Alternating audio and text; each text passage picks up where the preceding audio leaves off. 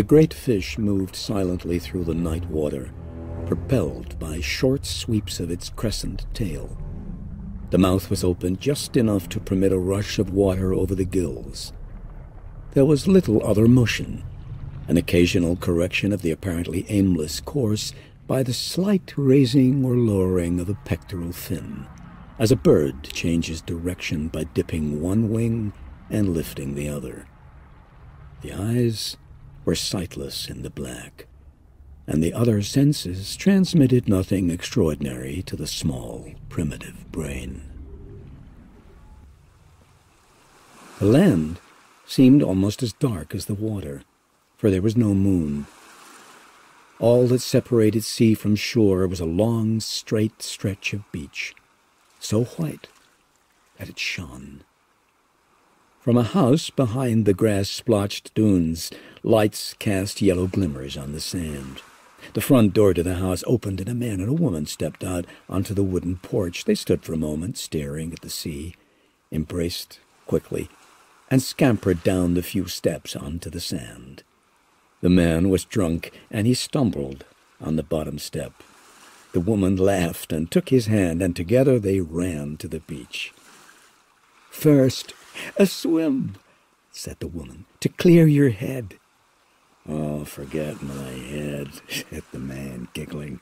He fell backward onto the sand, pulling the woman down with him. Afterward, the man lay back and closed his eyes, and the woman looked at him and smiled. Now, how about that swim? Hmm? she said. You go ahead. I'll wait for you here. The woman rose and walked to where the gentle surf washed over her ankles. The water was colder than the night air, for it was only mid-June. She called back, Are you sure you don't want to come? But there was no answer from the sleeping man. She backed up a few steps and then ran at the water.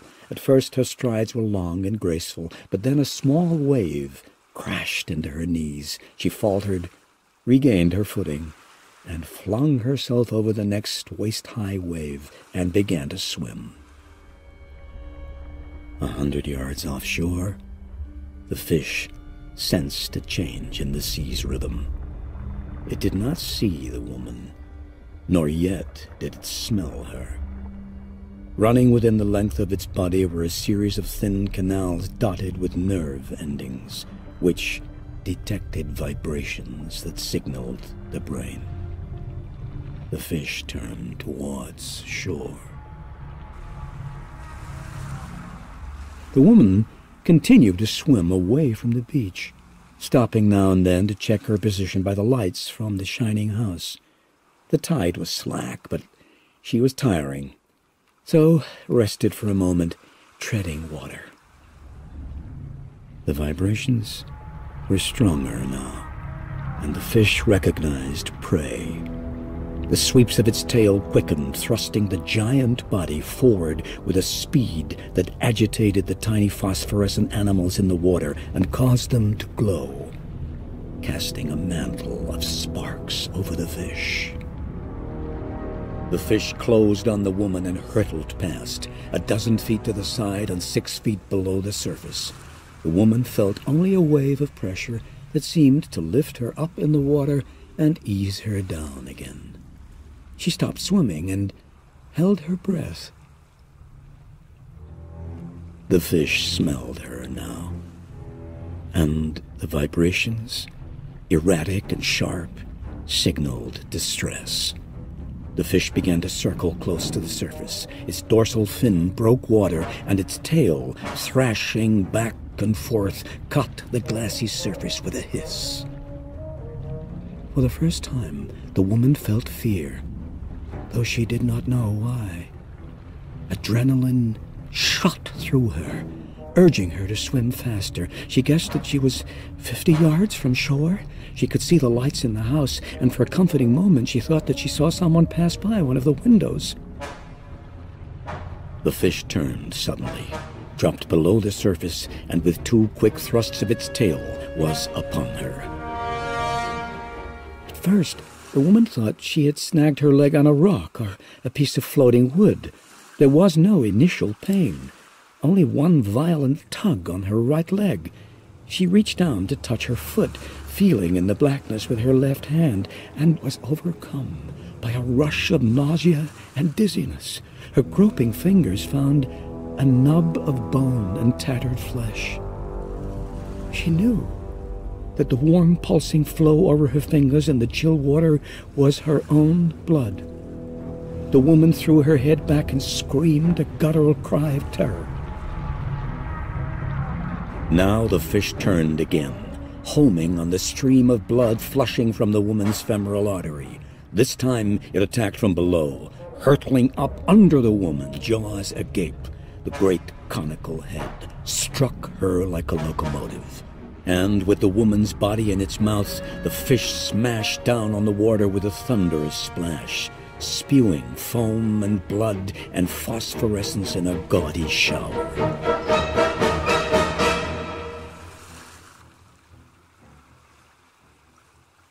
On the beach, the man awoke, shivering in the early morning cold.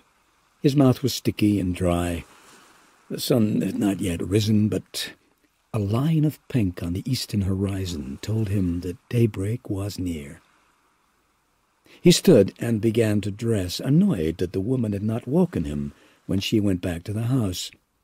And he found it curious that she left her clothes on the beach. Back at the house, the door to the room he shared with her was open, and a bedside light was on. Both beds were made. He tossed the woman's clothes on one of the beds and then returned to the living room. Both couches were empty. Only then did he permit his mind to consider the possibility of an accident. Very quickly, the possibility became a certainty. He stole into the host's bedroom. Jack! It's me, Tom. Have you seen Chrissy? Chrissy? Well, she's with you. No, she isn't. I mean, I can't find her. Jack sat up and turned on the light. Jesus Christ, it's five in the morning. You can't find your date? I know. I'm sorry. I think we may have a problem. But when did you see her last? On the beach. Then I fell asleep. I found her clothes. Maybe she drowned. Jack looked at him and then glanced at his watch. I don't know what time the police in this town go to work, he said, but I guess this is as good a time as any to find out. Patrolman Len Hendricks was sitting at his desk in the Amity police station, reading a detective novel, when the phone rang. Amity Police, Patrolman Hendricks, he said. Can I help you? This is Jack Foote, over on Old Mill Road. I want to report a missing person. One of my house guests went for a swim at about one this morning, and she hasn't come back yet. Her date found her clothes on the beach. Hendricks began to scribble on a pad. What was the person's name? Uh, Christine Watkins. Age? Uh, say around 25. Okay, Mr. Foote, we'll get onto it. Hendricks hung up the phone and thought, for all anybody knew, the woman was with some guy she met on the beach. On the other hand, if she was washed up somewhere, Chief Brody would want the whole thing taken care of before the body was found by some nanny with a couple of young kids, and it became a public nuisance. Hendricks dialed Chief Brody's home number. Brody rolled over and picked up the receiver. Yeah. Uh, Chief, this is Hendricks. I hate to bother you this early, but... Leonard, this had better be good. I think we got a floater on our hands, Chief. A floater? What in Christ's name is a floater? It was a word Hendricks had picked up from his nighttime reading. A, a drowning, he said, embarrassed. I didn't know if you'd want to check it out before people start swimming. Brody heaved an exaggerated sigh. Okay, Leonard, I'll take a look on my way in, just to make sure your floater isn't cluttering up someone's beach. See you later. It was nearly 6.30 when Brody turned onto the old mill road. The sun was well up. The sky was cloudless. Every hundred yards or so he stopped the squad car and surveyed the beach. There was no sign of a body. He drove on to the station house. Hendricks was finishing up his paperwork when Brody walked in and looked disappointed that Brody wasn't dragging a corpse behind him. No luck, Chief? That depends on what you mean by luck, Leonard. If you mean, did I find a body, and if I didn't, isn't it too bad, the answer to both questions is no. Brody poured himself a cup of coffee and began to flip through the morning papers. When the day shift appeared at eight, Hendricks was finishing up as Brody came out of his office. I'm going out to see Foote, Leonard. Do you want to come along? I thought you might want to follow up on your floater. Brody smiled. Oh, sure, said Hendricks. I got nothing else going today. They drove out in Brody's car. The young man, Tom Cassidy, met them at the door. It took less than five minutes for Brody to learn everything he needed to know. Mr. Cassidy, he said, I don't mean to sound flip or anything, but has Miss Watkins got a habit of doing strange things? I mean, like taking off in the middle of the night or walking around naked? Not that I know of, said Cassidy, but I really don't know her too well. Oh, I see. Then I guess we'd better go down to the beach again. The three men walked down to the beach. Leonard, you go east, Brody said to Hendricks. We'll go west. You got your whistle? I got it. Chief, you care if I take my shoes off? I don't care, said Brody. Technically, you're off duty. You can take your pants off if you want. Of course, then I'll arrest you for indecent exposure. Hendricks started eastward, walking with his head down, looking at the tiny shells and tangles of seaweed. A few bugs skittered out of his path. Every now and then he looked up to see if Brody and Cassidy had found anything. They were about half a mile away when he saw a clump of weed and kelp that seemed unusually large. When he reached it, Hendricks bent down to pull some of the weed away. For a few seconds, he stared, frozen, rigid. He, he fumbled in his pocket for his whistle, put it to his lips, and tried to blow. He vomited, staggered back, and fell to his knees. Wait, said Brody, stopping. I think that was a whistle. Come on. Hendricks was still on his knees when they got to him. Mr. Cassidy, stay back there, will you? said Brody. He pulled apart some of the weeds, and when he saw what was inside, he felt bile rise in his throat. You might as well look now, Mr. Cassidy, and tell me if it's her or not. That? Cassidy said, pointing at the weed. What do you mean? It's her. Brody was still fighting to control his stomach.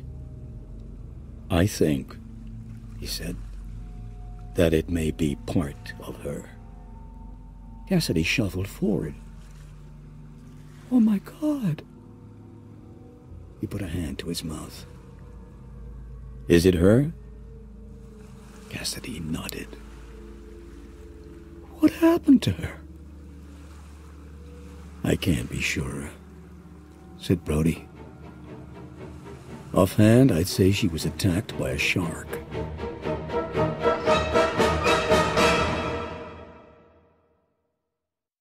By 11 o'clock, Brody was back in his office, filling out forms about the accident when the phone rang. Carl Santos. Martin? said the voice of the coroner. Yeah, Carl. What do you got for me? Unless you have any reason to suspect a murder, I'd have to say shark. And a big bastard, too. Even the screw on an ocean liner wouldn't have done this. It might have cut her in two, but... Okay, Carl. Spare me the gore. My stomach's not too hot already. Brody, hung up, typed shark attack in the cause of death space on the forms, and leaned back in his chair. It was the beginning of the summer season, and Brody knew that on the success or failure of those twelve brief weeks rested the fortunes of Amity for a whole year. Local merchants all needed a boom summer to support them through the winter. Even after the best of summers, Amity winters were rough. Brody knew people would be against publicizing the attack. Still, he thought, one death in mid-June before the crowds come would probably be quickly forgotten. The fish might well have disappeared already. But Brody wasn't willing to gamble lives on the possibility. He intended to close the beaches for a couple of days, to give the shark time to travel from the Amity shoreline. He called the editor of the Amity Leader, Harry Meadows. Harry, free for lunch? My place or yours, said Meadows. Suddenly Brody wished he had not called at mealtime. His stomach was still groaning, and the thought of food nauseated him. Uh, yours, I guess. Uh, why don't we order from Sy's? Brody called his wife, Ellen, to tell her that he would not be home for lunch, and when he arrived, Meadows, an immense man, was unwrapping his lunch with the loving care of a jeweler showing off rare gems. He slid Brody's sandwich across the desk to him. Food may kill me, Meadows said, seeing Brody's expression but I'd rather go my way than end up in the belly of a shark. Brody was in the midst of swallowing an egg sandwich. Don't do that to me, he said. They ate in silence. When Brody finished, he leaned back and lit a cigarette. About the Watkins thing. The coroner says it was a shark attack, clear and simple and if you'd seen the body, you'd agree. I did see it. Brody was astonished, mostly because he couldn't imagine how anyone who had seen that mess could be sitting there now licking lemon pie filling off his fingers. So, you agree? Yeah, Yeah, I agree. That's what killed her. I'll tell you. I called a young guy I know up at the Woods Hole Oceanographic Institute. I described the body to him, and he said it's likely that only one kind of shark would do that. What kind? A great white. There are others that attack people, but this fellow, Hooper, Matt Hooper, he told me that to cut a woman in half like that, you'd have to have a fish with a mouth like this. He spread his hands about three feet apart. And the only shark that grows that big and attacks people is the great white. And there's another name for them. Oh? Man-eater. And he also said that it's common for a great white to come into water this cold. You've done a lot of checking into this, Harry. Well, it seemed to me a matter of public interest to determine what happened and the chances of it happening again. And did you determine those chances? I did. They're almost non-existent. This was a real freak accident. Meadows looked at Brody, who returned his gaze silently. So it seems to me, Martin, that there's no reason to get the public all upset over something that's almost sure not to happen again. That's one way to look at it, Harry. Another is, since it's not likely to happen again, there's no harm in telling people that it did happen. This once. Meadows sighed. But we have to think of what's best for the people. If I run a story saying that a young woman was bitten in two by a monster shark off Amity, we can kiss the summer goodbye. Sharks are like axe murderers, Martin. People react to them with their guts. Brody nodded. Harry, I won't dispute your odds or anything. But if you're wrong, and we don't say a word, and somebody else gets hit by that fish, what then? My ass is in a sling. I'm supposed to protect people around here. The least I can do is warn them that there is a danger. And your ass is in a sling, too. You're supposed to report the news. And there's just no question that someone killed by a shark is news. I want you to run the story, Harry. And I want to close the beaches. Just for a couple of days. Meadows sat back in his chair. Well, I can't speak for your job, Martin, but as far as mine is concerned, the decision's already been made. There won't be any story about the attack in the leader. I've gotten six phone calls already this morning, five from advertisers, and the sixth from Mr. Coleman in New York. Mr. Coleman, who owns 55% of this paper.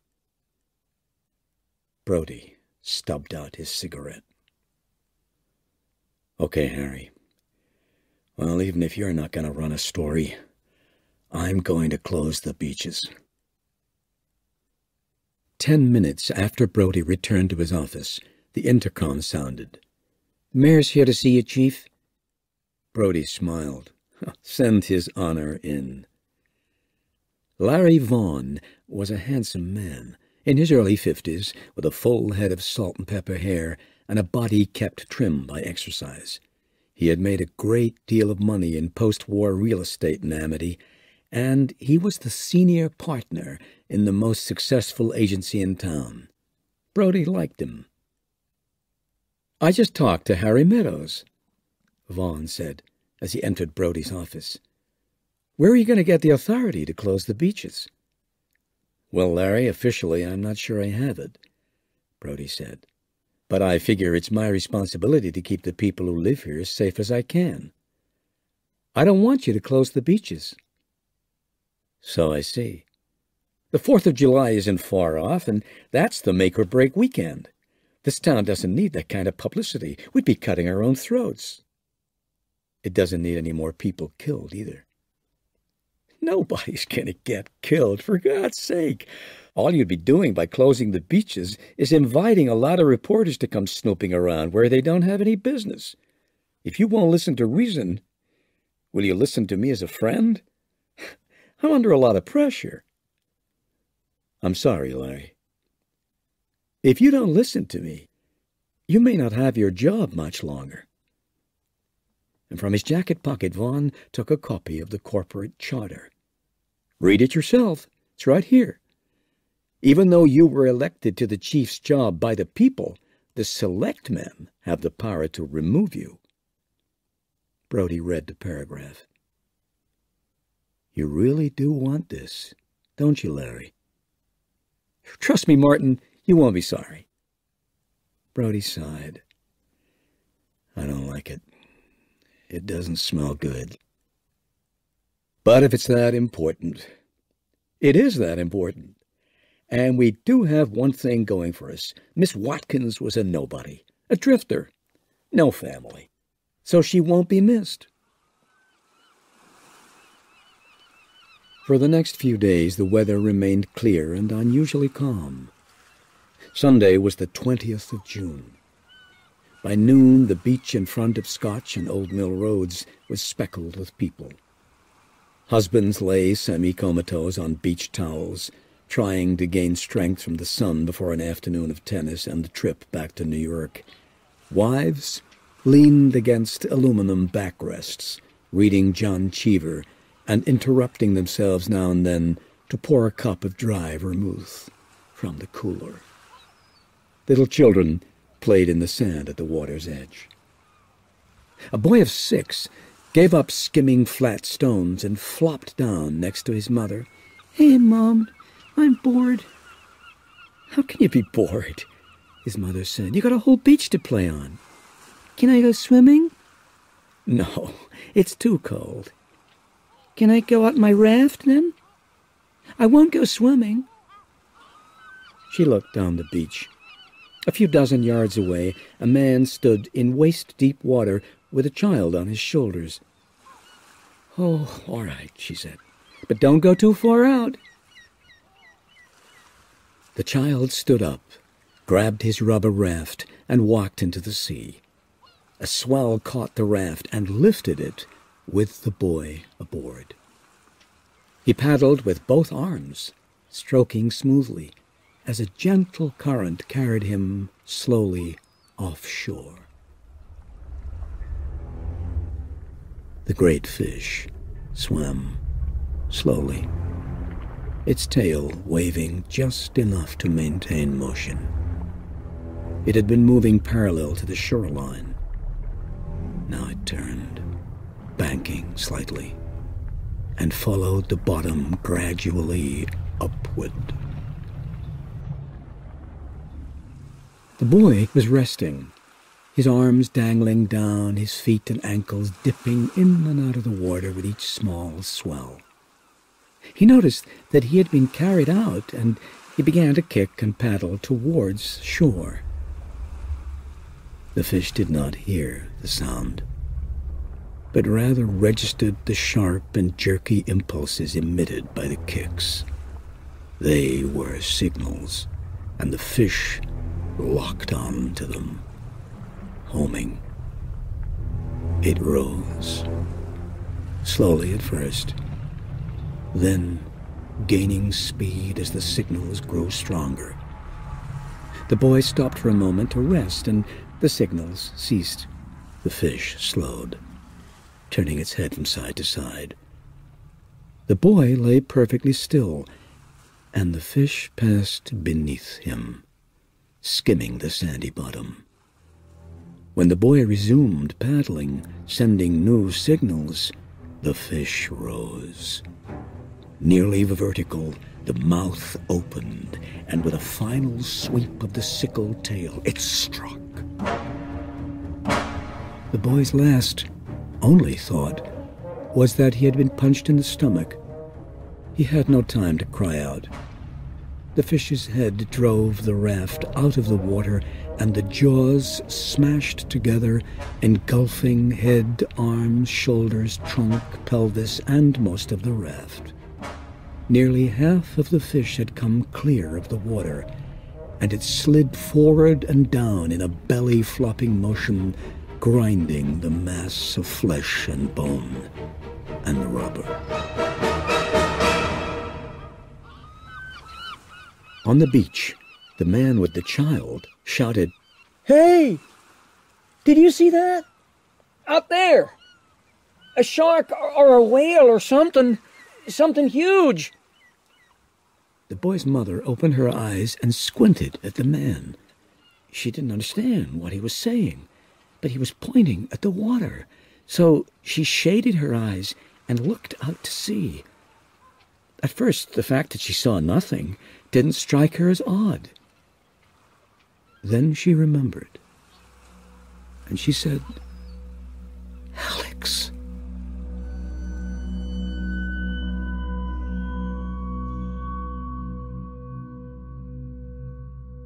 The phone rang when Brody was at home having lunch with his wife, Ellen. Bixby, Chief, said the voice from the station house. What is it, Bixby? I think you'd better come down. I've got this hysterical woman on my hands, Chief. What's she hysterical about? Her kid. Out by the beach? A twinge of unease shot through Brody's stomach. I'll be right there. He felt flushed, almost feverish. Fear and guilt and fury blended in a thrust of gut-wrenching pain. He should have closed the beaches. Harry Meadows was waiting in the parking lot when Brody drove up. Who's in there, Harry? A man from the New York Times, uh, the woman, and the man who says he saw it happen. How did the Times get hold of it? Oh, bad luck. He was on the beach. And do they know about the Watkins thing? I don't know. But if the Times prints, then I'll have to, too. Who are you going to say ordered it hushed up? Larry Vaughn? I'm not going to say anybody ordered it hushed up. What about the truth? What about telling it the way it happened? Say that I wanted to close the beaches and warn people, but the select men disagreed. And say that because I was too much of a chicken to fight and put my job on the line, I went along with them. Oh, come on, Martin. We took a gamble and lost. It's all there is to it. Brody entered his office through a side door, leaving Harry to go in the front. A man stood by the back wall. The boy's mother, a Mrs. Kintner, was sitting in front of the desk clutching a handkerchief. She was wearing a robe over her bathing suit. Her feet were bare. The young man stepped forward. Bill Whitman, from the New York Times. Are you prepared to list this as a shark attack? Listen, Mr. Whitman. We have no witnesses who saw anything but a splash. We have no body, no real evidence that anything violent happened to the boy. I mean, except that he's missing. The sound of tires grinding over gravel out front stopped Brody. A car door slammed, and Len Hendricks charged into the station, wearing nothing but a bathing suit. Chief, there's been another attack, said Hendricks. Oh, when was the first one? The Times man asked quickly. Before Hendricks could answer, Brody jumped in. We were discussing it, Leonard.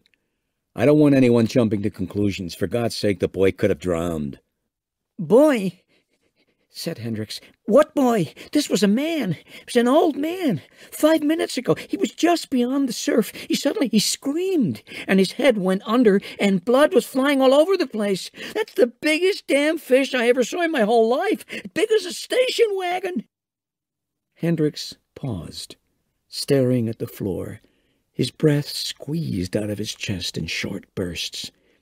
He looked up his eyes red and filling with tears of exhaustion and fright. Jesus. Leonard, go put on some clothes and find some notices that close the beaches, said Brody. One way or another, let's get the goddamn beaches closed. Monday morning. Brody arrived at the office a little after seven. The New York Times lay in the center of his desk. Shark kills two on Long Island. Damn, he said, and he began to read.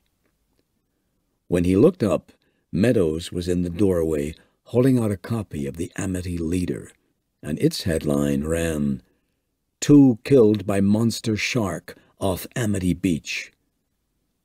Below that, in smaller type, Number of victims of killer fish rises to three. Jesus, Harry, said Brody. You really put it to me. Is there anything else I should read in this? No, I just quote Matt Hooper, Meadows said. That fellow from Woods Hole Oceanographic Institute. Oh, yeah? And what does he say? Well, he says it would be remarkable if we ever have another attack, but he's a little less sure than he was last time. That a fact. And he thinks it's a big white. And Hooper said that there was one thing we could do. Now that you got the beaches closed down, we could chum. You know, spread fish guts around in the water. Oh, great. That's what we need to attract sharks. And what if he shows up? What do we do then? Catch him. With what? My trusty spinning rod? No, a harpoon. A harpoon, Harry? I don't even have a police boat, let alone a, a boat with harpoons on it.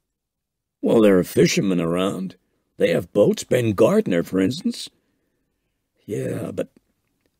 A commotion out in the hall stopped him in mid-sentence, and a woman's voice cried, Bullshit!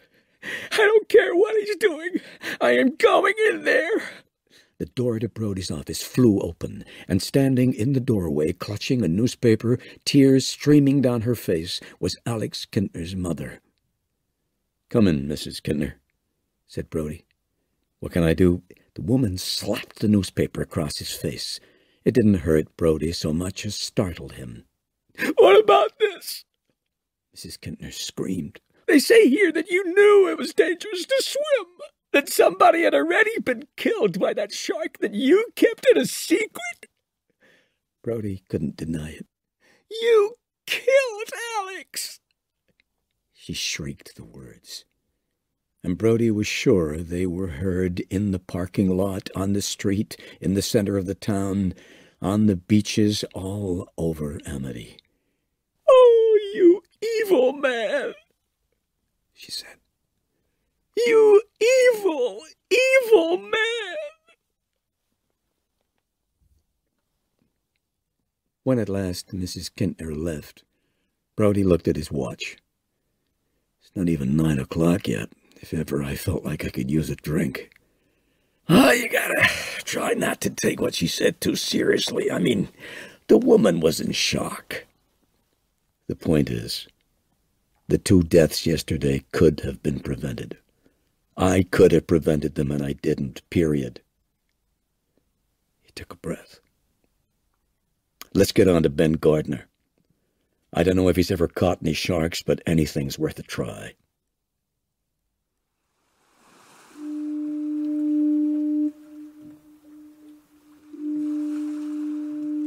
Thursday morning was foggy. A wet ground fog so thick that it had a taste, sharp and salty. Around midday it lifted. Sunlight streaked through the clouds, stabbing shiny patches of blue onto the gray-green surface of the sea. Brody sat on the public beach, his elbows resting on his knees, to steady the binoculars in his hands.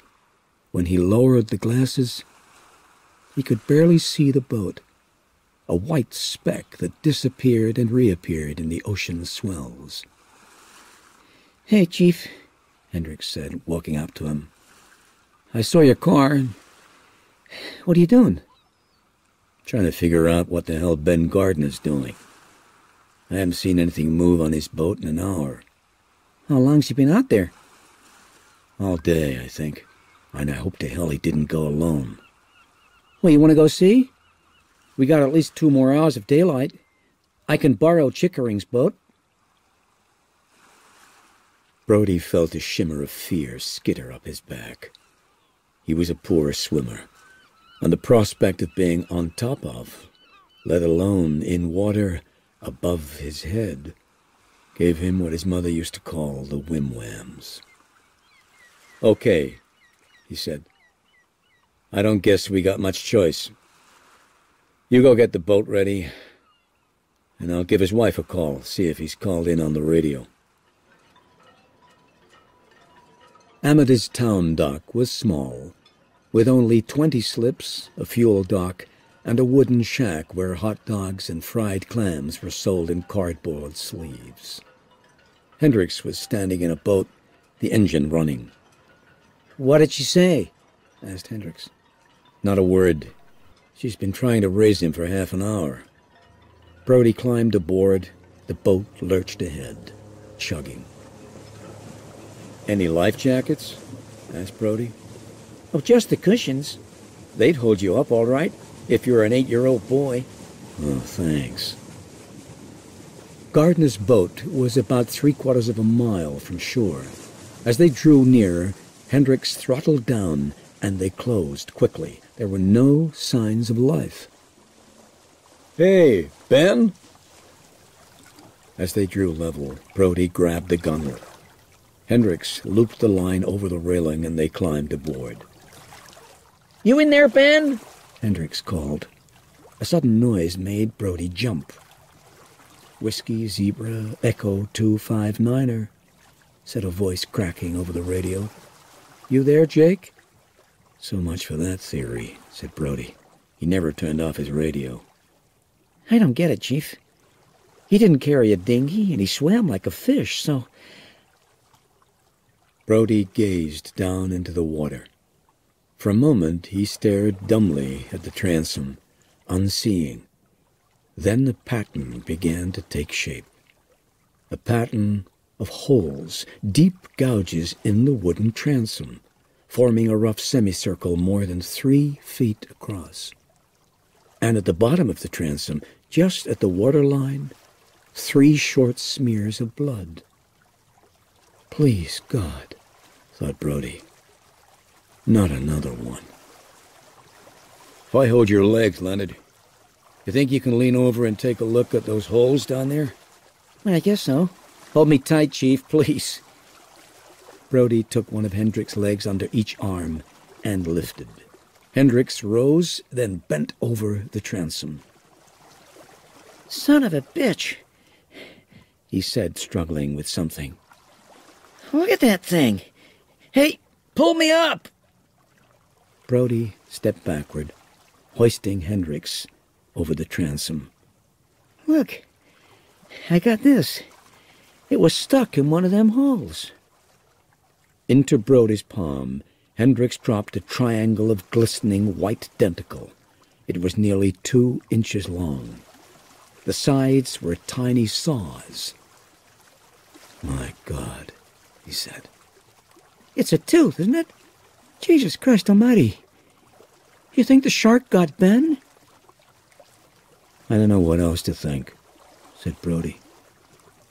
He looked at the tooth again, and then dropped it into his pocket. They arrived at the dock in late twilight. Harry Meadows and another man unknown to Brody were waiting for him. You sure have good antenna, Harry, Brody said as he climbed onto the dock. Meadows smiled, flattered.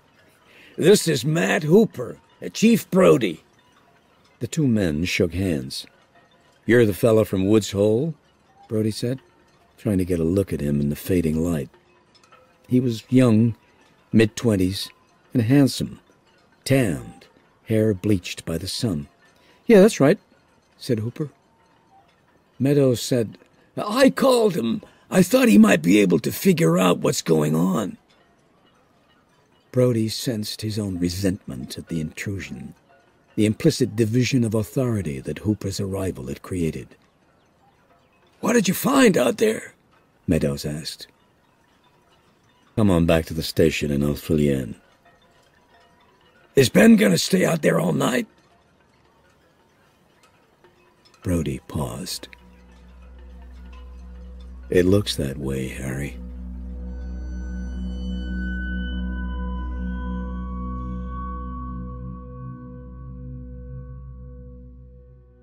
Brody arrived at police headquarters before Meadows and Hooper. It was almost eight o'clock. Do I gather that Ben Gardner has become victim number four? Meadows asked. Brody nodded. I think so. We found this. Leonard dug it out of the wood. He flipped the tooth to Hooper, who turned it over in his hand. What do you think, Matt? It's a white. How big? Well, I can't be sure, but big, fifteen, twenty feet. That is some fantastic fish. Brody asked, How much would a fish like that weigh? Oh, five or six thousand pounds. Brody whistled. Three tons. Do you have any thoughts about what happened? Meadows asked. From what the chief says, it sounds like the fish killed Mr. Gardner. How? Well, any number of ways. Gardner might have fallen overboard. More likely, he was pulled over. His leg may have gotten tangled in a harpoon line. He could have even been taken while he was leaning over the stern. How do you account for the teeth in the stern? Well, the fish attacked the boat. What the hell for? Sharks, they're not very bright, Chief. They exist on instinct and impulse. The impulse to feed is powerful. But a thirty-foot boat? A shark doesn't think. To the shark, it was just something large. There's nothing in the sea that this fish would fear. Do you have any idea why he's hung around here so long? I don't know how much you know about the water here, but... Oh, I grew up here. You did? In Amity? No, Southampton. I spent every summer there, from grade school through grad school. Every summer? So you didn't really grow up there? Okay, so I wasn't born here. But I've spent a lot of time in these waters, and I wrote a paper on this coastline. Anyway, this isn't an environment that would normally support a long stay by a shark. So why is this one staying? What is it about Amity? It is impossible to say the shark could be sick, changes in water temperature or current flow, or feeding patterns could cause him to stay. There's no real answer. Okay, but is there anything you plan to do to get an answer? Yeah, I'll take water samples here and in East Hampton. I'll try to find out how other fish are behaving. Oh, and I'll try to find that shark. Which reminds me, is there a boat available? Yes, I'm sorry to say. Ben Gardner's. You can use it, at least until we work out something with his wife. Do you really think you can catch that fish? Oh, I didn't say I was going to catch it. Then what the hell are you going to do? Brody looked into Hooper's eyes. I want that fish killed. And if you can't do it, we'll find someone who can. Hooper laughed. You sound like a mobster. I want that fish killed. So go get a contract out on him. Who are you going to get to do the job? I don't know. What about it, Harry? Isn't there any fisherman on this whole damn island equipped to catch big sharks? Meadows thought. There may be one. I don't know much about him, but I think his name is Quint. And I think he operates out of a private pier somewhere around Promised Land. Yeah, he sounds like a possible. Look, Chief, you can't go off half-cocked looking for vengeance against a fish. That shark is not evil. It's not a murderer. It's just obeying its own instincts, trying to get retribution against a fish. It's crazy. Brody knew Hooper was right. But the people of Amity would demand the death of the fish. They would need to see it dead before they could feel secure enough to resume their normal lives. And most of all, Brody needed to see it dead. The phone rang. Hello, Martin. How are you? Mayor Vaughan's voice was friendly, almost effusively so, Brody thought. As well as could be expected, Larry. I heard about Ben Gardner. News travels fast. Are you sure it was the shark again? Yeah, I guess so. Nothing else seems to make sense. Martin, what are you going to do? There was a pathetic urgency in Vaughan's voice. That's a good question, Larry. We've got the beaches closed down, and we've I'm aware of that, but I'm thinking what would you say to opening the beaches just for the 4th of July weekend? Not a chance in hell. Now listen. No, you listen, Larry. The last time I listened to you, we had two people killed. If we catch that fish, if we kill the son of a bitch, then we'll open the beaches. Until then, forget it.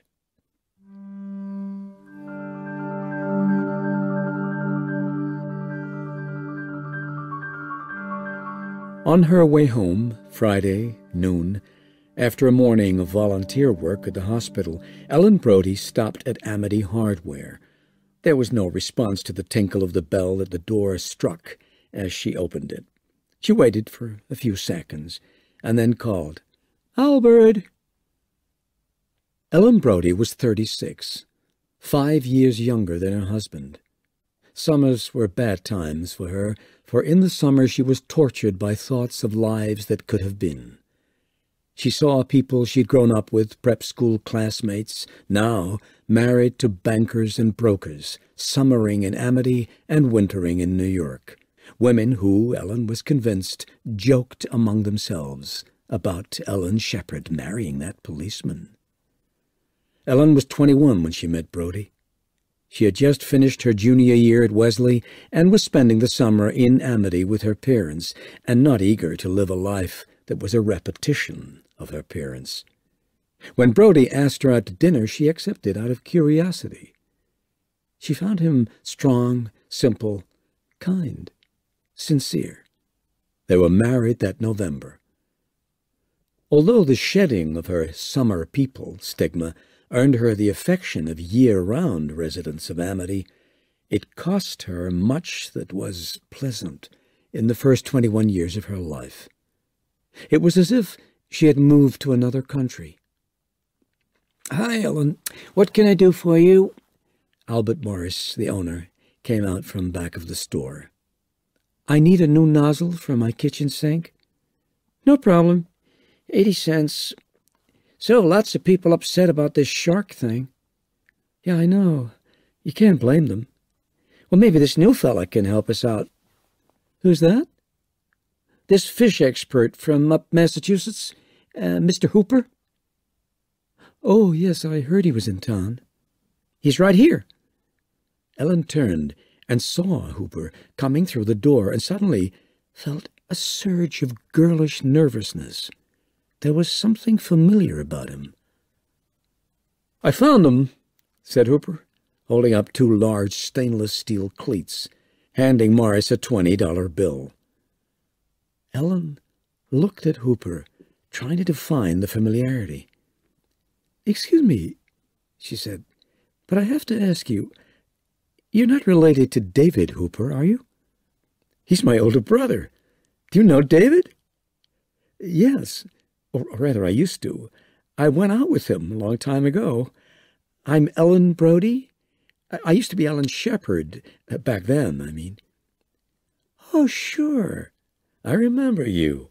Hey, let me see. You wore your hair shorter then, a sort of page boy, and yours wore a, a charm bracelet?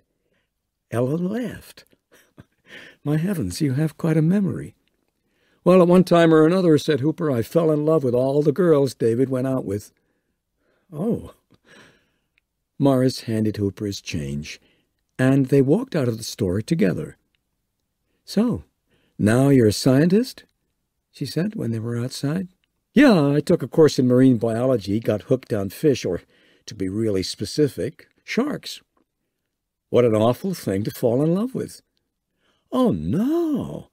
Sharks are beautiful. God, how beautiful they are.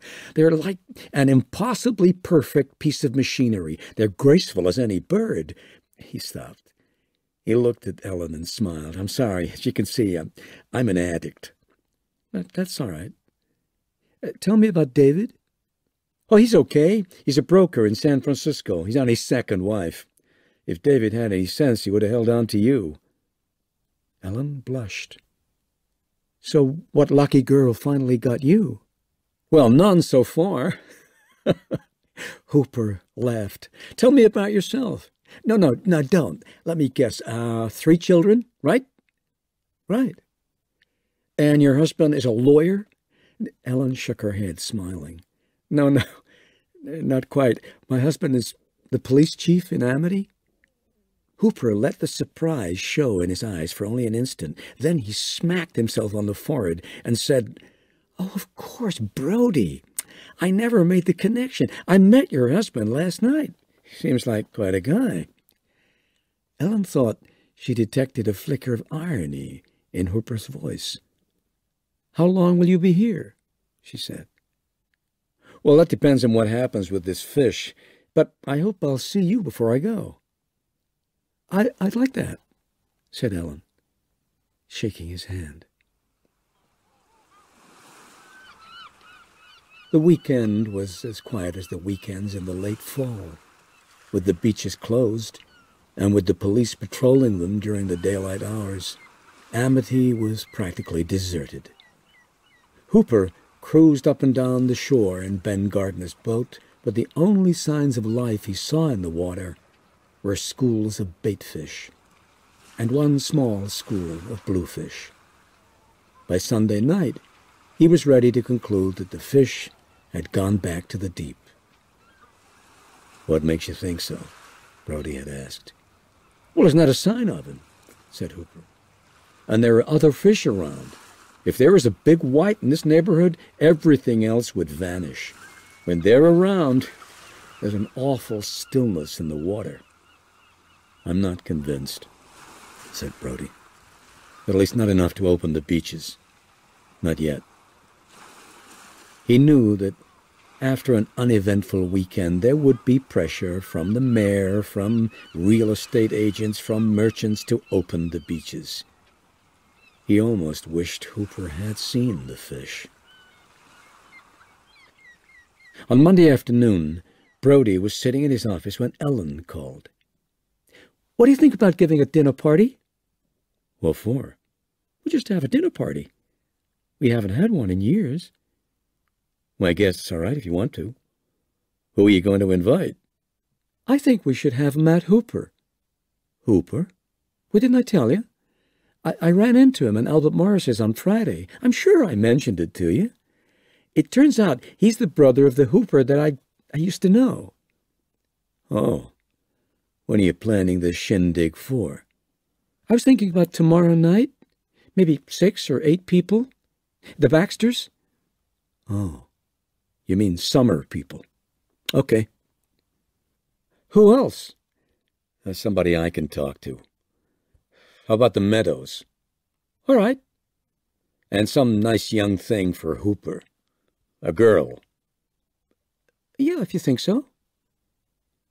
Okay, well, I'll see you later, Brody said, and he hung up.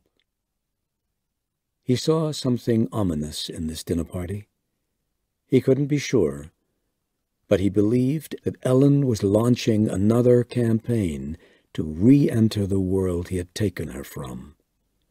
And this time, she had a lever with which to jimmy her way in. Hooper.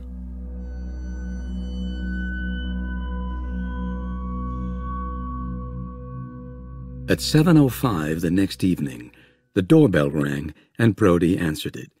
Hooper was outside wearing bell-bottom blue jeans, loafers, and a red Lacoste shirt. It was the uniform of the young and rich in Amity. In his blue madras shirt and slacks, Brody felt outclassed. Hi, he said. Come in. Matt, said Ellen. I'm so glad you could come. I'm sorry I don't look more respectable. I only brought working clothes. Oh, don't be silly. You look wonderful. I have something for the hostess, said Hooper, pulling out a small package wrapped in tissue. To make up for my clothes? Ellen carefully unwrapped the paper. Inside was a charm. Oh, it's lovely, she said. What is it? It's a tiger shark tooth. There's supposed to be a superstition that if you keep it with you, you'll be safe from shark bite. Under the present circumstances, I thought it would be appropriate. Oh, I'll put it on right now. You never know, and you might meet a shark at dinner. Brody went into the kitchen to fix a drink. He took a breath and clenched and unclenched his fists. He felt Ellen was trying to impress Hooper. Christ, he had to be ten years younger than her or almost. So why was she putting on her super sophisticated act? He mixed himself a large rye and ginger and took a long slug. Then he mixed the other drinks, topped himself up with more rye, and took them through, just as the boys came downstairs. Come here, boys. Meet Mr. Hooper, said Ellen. Mr. Hooper is an oceanographer. An ichthyologist, actually, he said. A zoologist who specializes in fish life. Are you going to catch the shark? asked Martin Jr. Well, I'm going to try to find him. The Meadows arrived at the same time as Daisy Wicker, a tall, slim girl with long, straight hair. Brody led them into the living room and took orders for more drinks. When he returned, Daisy Wicker was standing alone, gazing around, smiling. Thinking of something funny? No, I guess I've never been in a policeman's house before. What did you expect? Bars on the windows? No, I was just curious. Do you like being a policeman? Yes. It's a good job, and it has a purpose to it. Don't you feel alienated? Why the hell should I feel alienated? Alienated from what? From the people. I mean, the only thing that justifies your existence is telling people what not to do. Doesn't that make you feel freaky? No, I don't feel freaky. Excuse me, he said. I have to tend to the other guests. Sure. Nice talking to you. Ellen was in the kitchen. Where the hell did you find that girl? he said. Under a rock? Who? Daisy? He poured himself another drink. What is the matter with you? Well, I guess I don't like strange people coming into my house and insulting me. Oh, Martin, for my sake, please. Don't worry. But halfway through the meal, a wave of nausea hit him. It was the wine. It had to be the wine. He was distracted by the image of Ellen talking to Hooper. Every time she spoke, she touched his arm. Lightly, but, Brody thought, intimately, as if they were sharing secrets. I sure as hell feel alienated right now, he thought. When the guests finally departed, they cleared up in silence. In the bedroom, when Brody was undressing, the thought occurred to him that the source of this whole mess was a fish, a mindless beast that he had never seen. The ludicrousness of that thought made him smile. Brody awoke with a start, jolted by a signal that told him something was wrong. He sat up and saw Ellen sitting by the window. Rain splashed against the window panes. Lousy day, huh? he said. She didn't answer, continuing to stare fixedly at the drops sliding down the glass. How come you're up so early? Couldn't sleep. Well, I'm sure I didn't have any trouble. I'm not surprised. Oh, boy. Are we starting that again?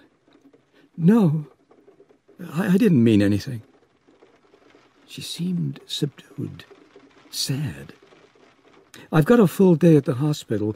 Do you think you can drop the boys off on your way to work? No problem. I'll pick them up on my way home. As soon as they had left, Ellen picked up the phone. She could hear her heart beating as she dialed the number. Abelard Arms? Mr. Hooper's room, please. Matt Hooper? Ellen heard the phone ring once, then again. Hello, said Hooper's voice. Hi, it's me. I mean, it's Ellen. Oh, hi. Now, she said to herself, do it. I was wondering if, if there was any chance you'd like to, if you're free for lunch. Lunch? Yes, just you and me. I don't want to interfere with your plans or anything. No, no, that's okay. I can't go out in the boat in this weather. What did you have in mind? There's a wonderful place up in Sag Harbor. Uh, Banners. Do you know it? She had heard that it was good, and it was quiet. Uh, no, said Hooper, but sounds good. Around 12.30, then? Ellen hung up. Her hands were still shaking. It was 12.15 when she arrived at Banners, a small steak and seafood restaurant on the water. The restaurant was dark. Ellen took a booth and ordered a gin and tonic. When it came, she drank half of it immediately. Hello? The word startled Ellen. Hooper slid into the seat opposite her and said, I didn't mean to scare you. He looked into her eyes and smiled. It's going to happen, Ellen thought. She felt suddenly nervous. She wanted to tell him why she was behaving this way, to explain that she didn't do this all the time. Do you know what I'd love? She said finally. Some wine. That's a very interesting idea, Hooper said, looking at her. But I may become irresponsible. Oh, I'm not worried. Hooper ran his tongue over his lips and leaned forward until his face was only a foot from hers. Ellen thought, the door's open now. All you have to do is walk through it.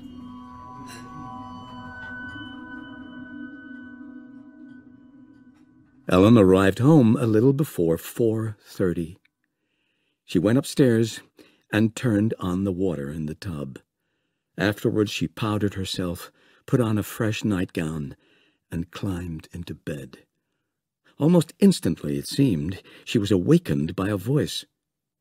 Hey there, you okay? She opened her eyes and saw Brody sitting on the end of the bed. She sat up. What time is it? Six. I got the kids. I figured I'd better once I couldn't reach you.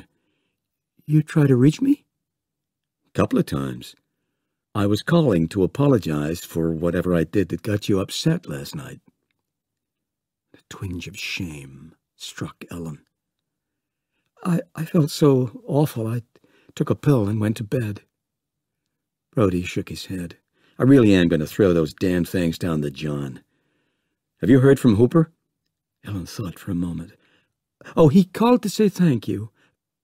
Why? Well, I tried to get hold of him today a couple of times. He was probably with Daisy Wicker in some hotel room.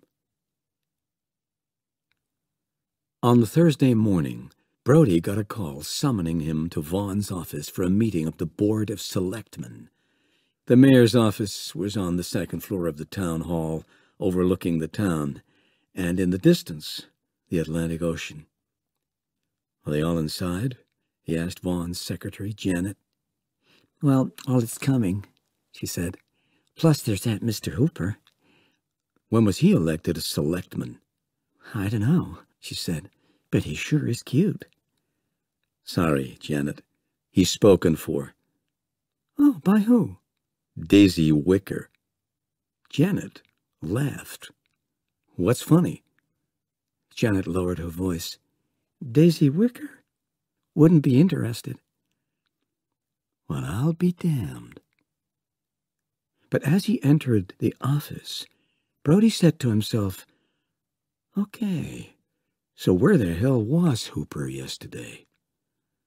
As soon as he was inside the office, Brody knew that he would be fighting alone. God, he looks awful, Brody thought as he watched Vaughan drag a straight-back chair across the room. Looks like he hasn't slept in a month. When everyone was finally seated, Vaughan said, You all know why we're here, and uh, I guess it's safe to say there's only one of us that needs convincing about what we should do. You mean me, said Brody. Vaughan nodded. Look, Martin, the town is dying. People are out of work. Every day we keep the beaches closed, we drive another nail into our own coffin. Suppose you do open the beaches for the Fourth, Larry, said Brody. And suppose someone gets killed. It's a calculated risk. We think it's worth taking. Mr. Hooper? First of all, nobody's seen the fish in a week. Nobody's been in the water either. That's true. But I've been on the boat looking for him every day. Well, every day but one. I meant to ask you about that. Where were you yesterday? It rained, Hooper said. I don't have to report in every five minutes, do I? Anyway, I haven't seen a trace of that fish, and the water's getting warmer. Great whites prefer cooler water. So you think it's gone further north? Or out deeper, into colder water? He could have gone south. You can't predict what these things are going to do. That's my point. You can't predict it. So all you're doing is guessing. Vaughan said, Look, you can't ask for a guarantee, Martin. Tell that to Christine Watkins, or the Kintner boy's mother.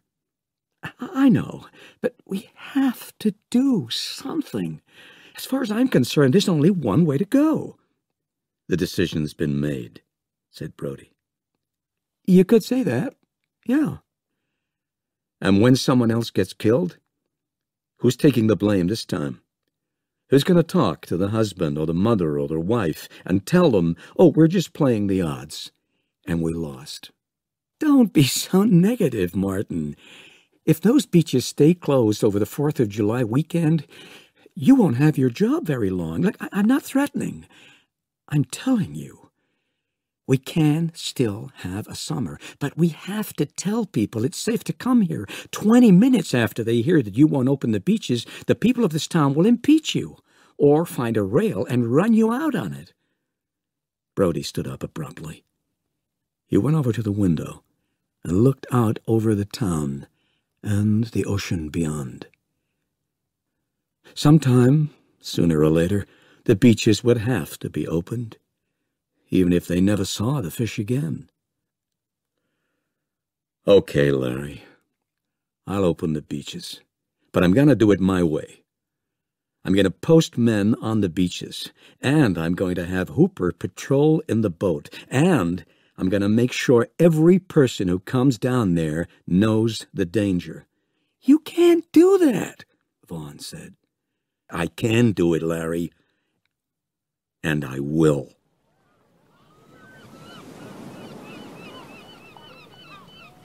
Saturday, noon, on the 4th of July weekend. Brody stood on a dune overlooking the Scotch Road beach, feeling half secret agent, half fool. Offshore, between a quarter and a half a mile, Ben Gardner's old boat, Flicka, moved slowly eastward. Brody watched the boat through his binoculars and said to himself, At least I know where Hooper is today. The Coast Guard had been right. The day was cloudless and warm, with a light onshore breeze. The beach was crowded. A dozen or so teenagers were scattered about in their ritual rows. A family was gathered around a charcoal fire in the sand, and the scent of grilling hamburger drifted into Brody's nose. No one had yet gone swimming. Hearing footsteps, he turned to see a family struggling up the dune. Can I help you? Brody said. Is this the beach? said the woman. This is it, all right, said the man. He spoke with the unmistakable accent of the Queensboro New Yorker. Where's the shark? said one of the children, a fat boy of about thirteen. Thought you said we were going to see a shark. Yeah. Where's this hotshot shark? We seen it on TV. There's a shark that kills people. There was a shark here, said Brody. But it's not here now. You mean we drove all the way out here to see this shark and he's gone? He snarled. You said we'd see a shark, whined one of the boys. Come on. The family trudged down the dune and onto the beach. Brody looked at his watch. Twelve fifteen. He reached into the beach bag and took out the walkie-talkie. You there, Leonard? Yeah, I read you, Chief. Over. Anything going on? Uh, no, there are some TV guys here interviewing people. Over. About what? Just the standard stuff, you know. Are you scared to go swimming? What do you think about the shark? Over. Well, as long as they're not causing any trouble. Nope. Over. Okay. Hey, Leonard, you don't have to say over all the time. I can tell when you're finished speaking. It's just procedure, Chief. Keeps things clear. Over and out. Brody waited a moment, and then pushed the button again and said, Hooper, this is Brody. Anything out there? Hooper? Sorry, I was out in the stern. I thought I saw something. What did you see? Nothing. Uh, my eyes were playing tricks on me. What did you think you saw? A shadow, maybe. Uh, the sunlight can fool you. Okay, I'll check with you later. By 2.30, the only ones left on the beach were half a dozen teenagers and the family from Queens. Brody's legs had begun to sunburn, and he decided to take a walk. He heard the sound of an engine and turned to see a white truck parking on Scotch Road. The driver's door opened and a man got out and trudged towards him. He was young, with long curly hair and a handlebar mustache. Chief Brody? I'm Bob Middleton, Channel 4 News. I'd like to interview you about the whole shark business, how you decided to open the beaches. Brody thought for a moment. Well, what the hell, he said to himself. Little publicity couldn't hurt the town.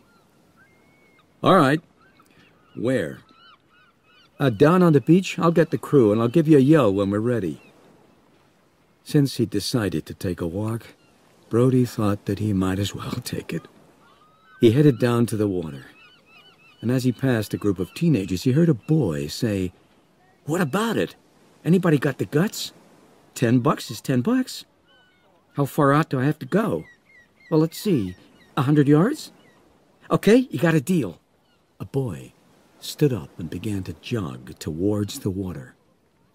Brody walked over to the boy. Do you want to go swimming? he asked. The boy looked past him at his friends.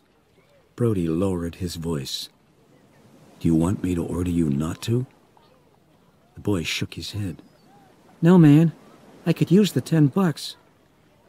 And he scampered to the water, flung himself over a small wave, and began to swim. Bob Middleton and his crew dashed past Brody. How much do you want of this? said the cameraman, tracking the boy as he swam. Let's just stay here till he comes out and be ready just in case. Suddenly, the hum of the Flicka's engine changed from a low murmur to an urgent growl. Brody looked beyond the swimming boy and saw the boat in a tight, fast turn. He put the walkie-talkie to his mouth. You see something, Hooper? It was that shadow again. There's a kid swimming out there. Where? Middleton appeared and pushed the microphone into Brody's face. Uh, Thirty, maybe forty yards out. I think I better tell him to come in. Brody waved the microphone away and yelled, Hey, out there! Come on in! Jesus, said the sound man. You damn near blew my ears out. Hooper, Brody said. You want to toot in here and tell him to come ashore? The fish had sounded now and was meandering a few feet above the sandy bottom 80 feet below the Flicka. For hours, its sensory system had been tracking the strange sounds above. The boat swung toward shore and kicking up a shower of spray from the bouncing bow. The boy stopped swimming and raised his head. Brody yelled, Come in! The boy waved back and started for the shore. What's going on? said the man from Queens, his two sons behind him, smiling eagerly. Nothing, said Brody. I just don't want the boy to get out too far. Is it the shark? Hey, neat, said one of the boys. At 15 knots, it took Hooper only 30 seconds to cover the couple of hundred yards and draw near the boy. The boy heard the engine and raised his head. What's the matter? Nothing, said Hooper. Keep swimming. The boy lowered his head and swam. A swell caught him, and with two or three more strokes he was able to stand. Come on, said Brody. I am, said the boy. What's the problem, anyway? Hooper put the boat in reverse. As he looked off the stern, he saw a silver streak moving in the gray-blue water. It seemed part of the wave motion, but it moved independently. For a second, Hooper did not realize what he was seeing. And even when the realization struck, he did not see the fish clearly. He cried, The fish! Get the kid out! Quick! The boy heard and tried to run, but in the chest deep water his movements were slow. A swell knocked him sideways and he stumbled. Brody ran into the water and a wave hit him in the knees and pushed him back. Middleton said into the microphone, The man on the boat just said something about a fish. I don't know if he means a shark. The boy was moving faster now, pushing through the water with his chest and arms. He did not see the fin rise behind him, a sharp blade of brownish gray that hovered in the water. There it is, said the man from Queens. See it, Benny, Davy, it's right there. There, cried Middleton, pointing. I'm zooming, said the cameraman. Brody reached for the boy. His eyes were wide and panicked. He grabbed him around the chest, and together they staggered out of the water. The fin dropped beneath the surface, and following the slope of the ocean floor, the fish moved into the deep. Brody stood in the sand, with his arm around the boy. You okay? I want to go home. The boy shivered. I bet you do. Brody retrieved his walkie-talkie. Leonard? Can you hear me? The fish has been here. If you've got anybody in the water down there, get them out. This beach is officially closed. At six o'clock, Brody sat in his office with Hooper and Meadows. He had already talked to Larry Vaughan, who called drunk and in tears, and muttered wildly about the ruination of his life. There must be some place to go from here, something to do more than just closing the beaches, said Meadows. Did you ever look into that fisherman guy, Harry? Uh, Quint? As far as I know, he's never done anything illegal.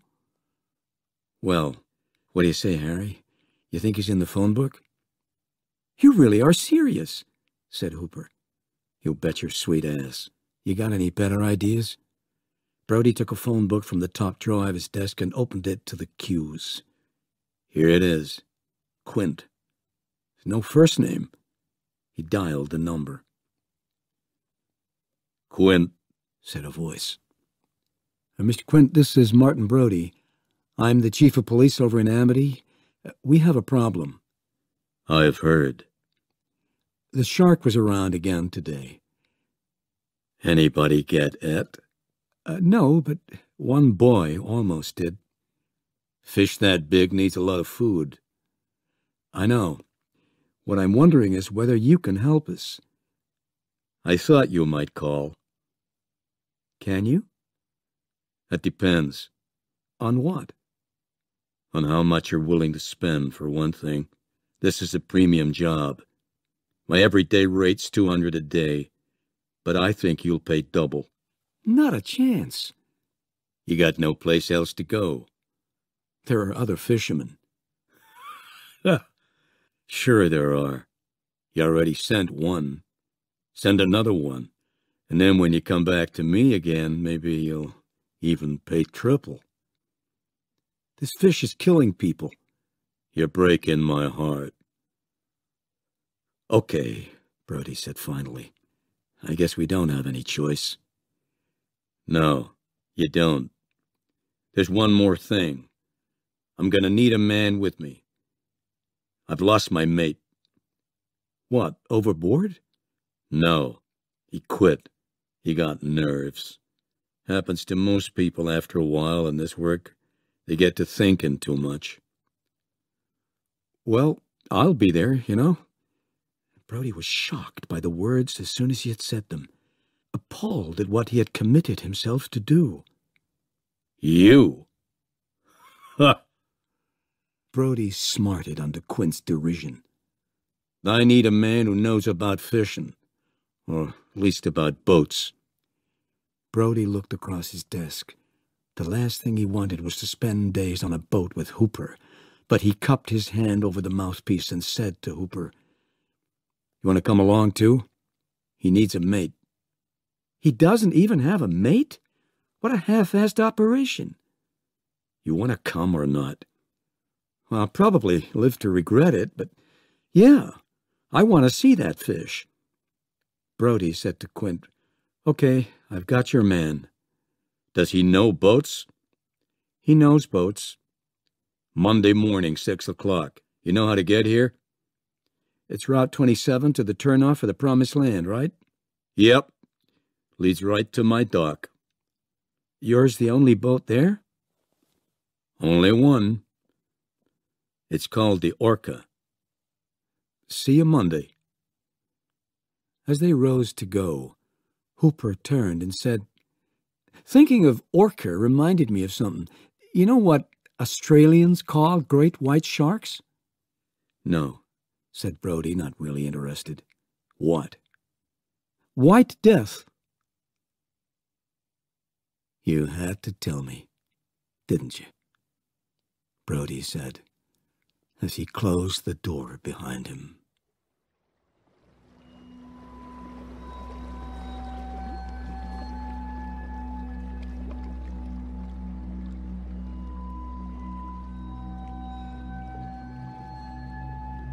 The sea was as flat as gelatin.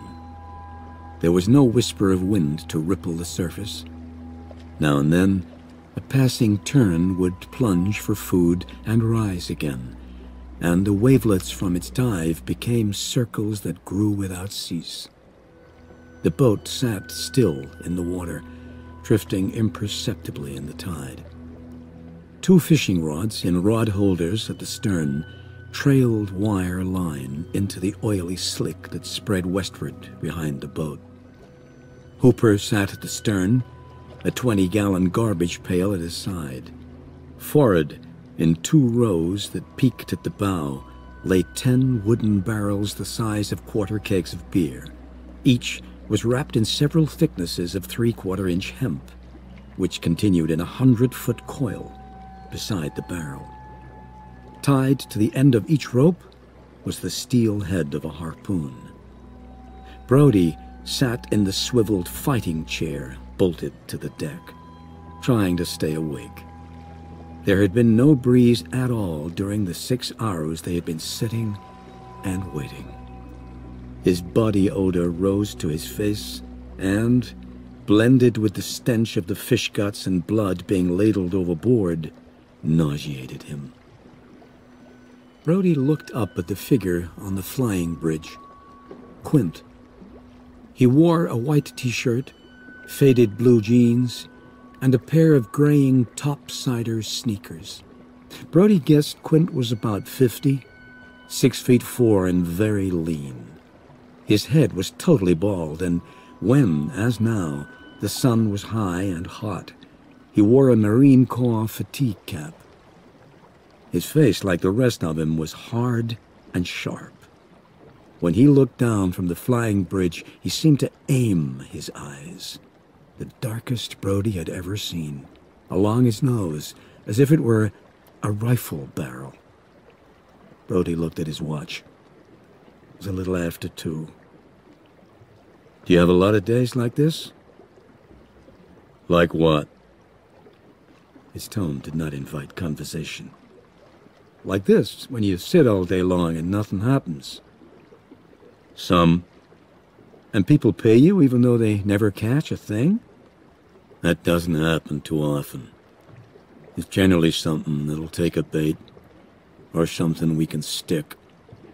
Stick? With an iron. Quint pointed to the harpoons on the bow. What kind of things do you stick, Quint? Anything that swims by. Really? I don't think...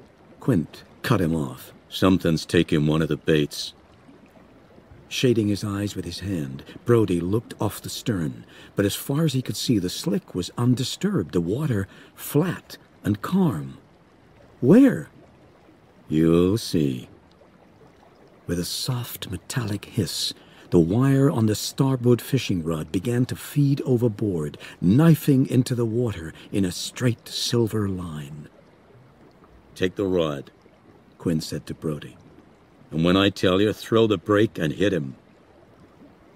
Is it the shark? said Brody. The possibility that at last he was going to confront the fish, the beast, the monster, the nightmare, made Brody's heart pound. He wiped his hands on his trousers, took the rod out of the holder, and stuck it in the swivel between his legs. Quint laughed. A short, sour yip. That thing? no. That's just a little fella. Give you some practice for when your fish finds us. Quint watched the line for a few more seconds, and then said, Hit it.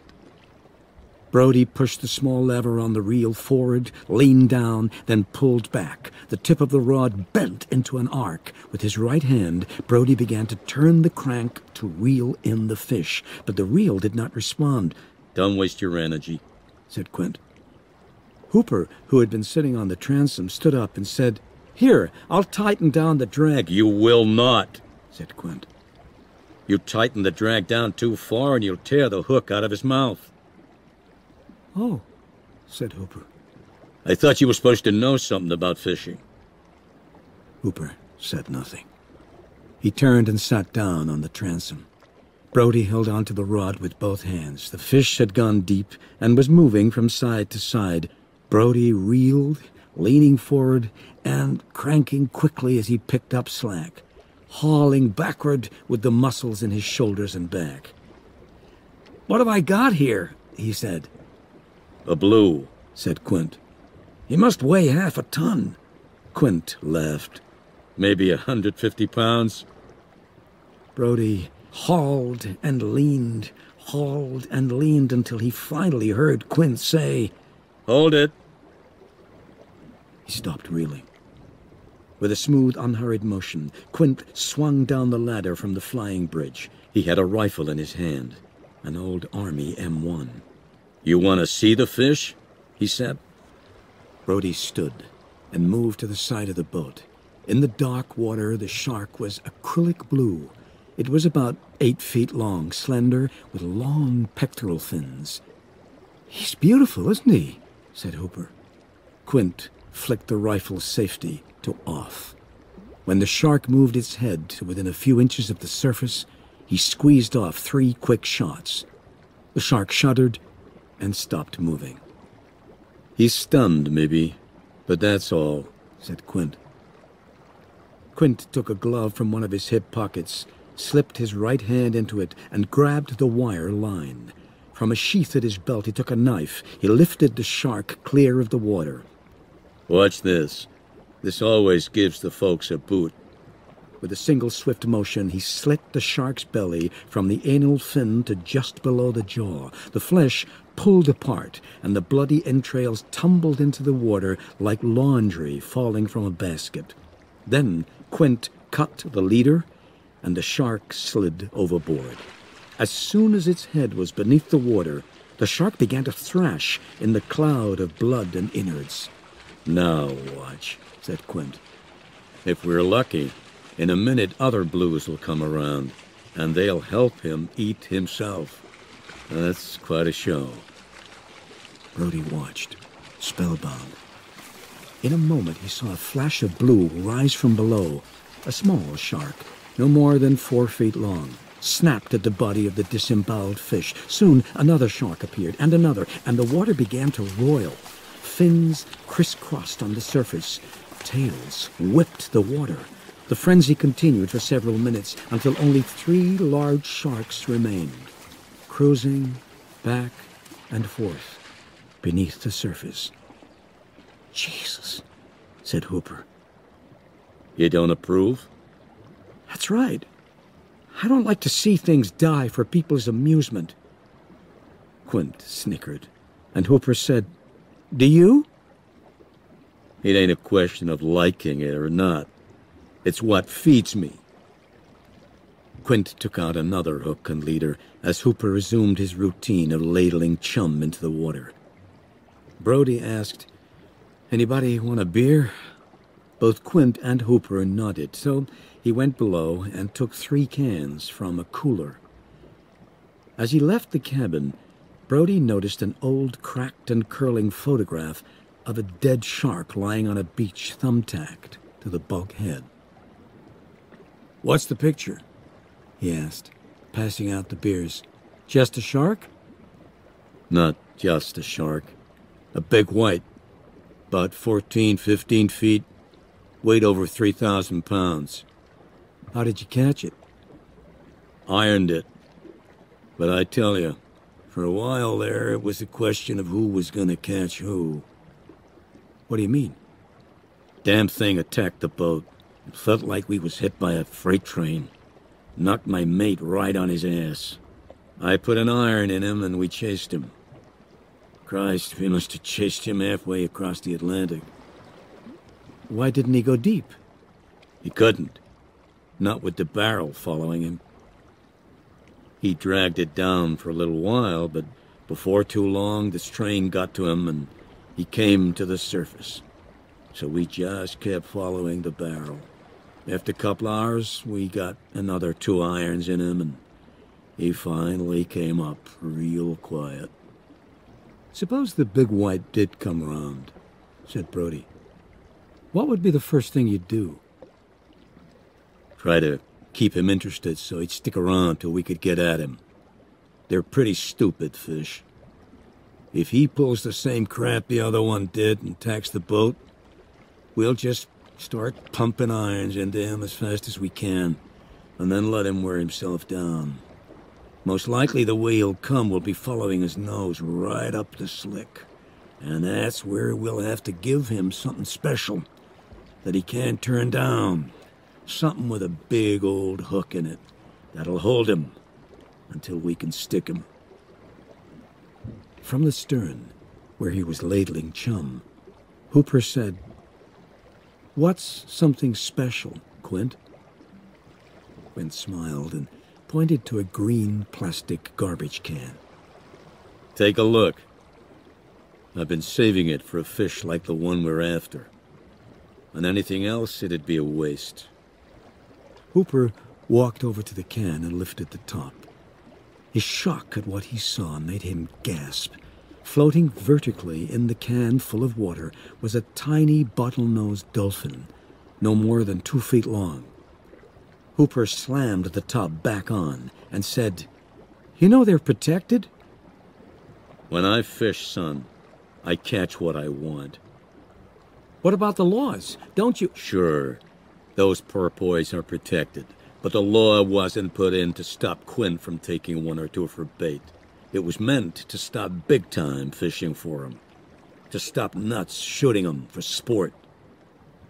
I got your message, said Hooper. Take it while you can. And if after a while there's nothing left, why, we'll just start taking something else. Oh, it's so stupid. Don't overstep, son, said Quint. The voice toneless. What? Don't go calling me stupid. I, I didn't mean that, for God's sake. I just meant... Let's drop it, Hooper, okay? Brody said.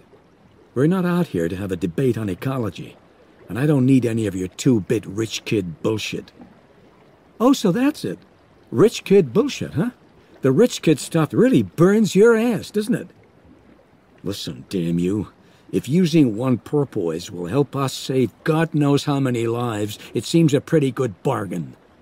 Hooper smirked and said to Brody, Oh, so now you're an expert on saving lives, are you? Well, let's see. How many could have been saved if you'd closed the beaches? Brody was on his feet, moving at Hooper, before he consciously knew he had left his chair. You shut your mouth, he said. Reflexively, he dropped his right hand to his hip. He stopped short when he felt no holster at his side. Scared by the sudden realization that if he had had a pistol, he might have used it. A quick, sharp laugh from Quint broke the thread of tension. What a pair of assholes. I seen that coming since you came aboard this morning.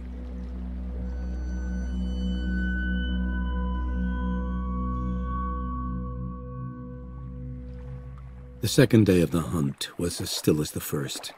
The breeze had died, and the boat lay motionless on the glassy sea, like a paper cup in a puddle. Brody had brought a book out. He didn't want to have to fill time with conversation. Conversation that might lead to a repeat of yesterday's scene with Hooper. Today they seldom spoke to one another, directing most of their comments at Quint.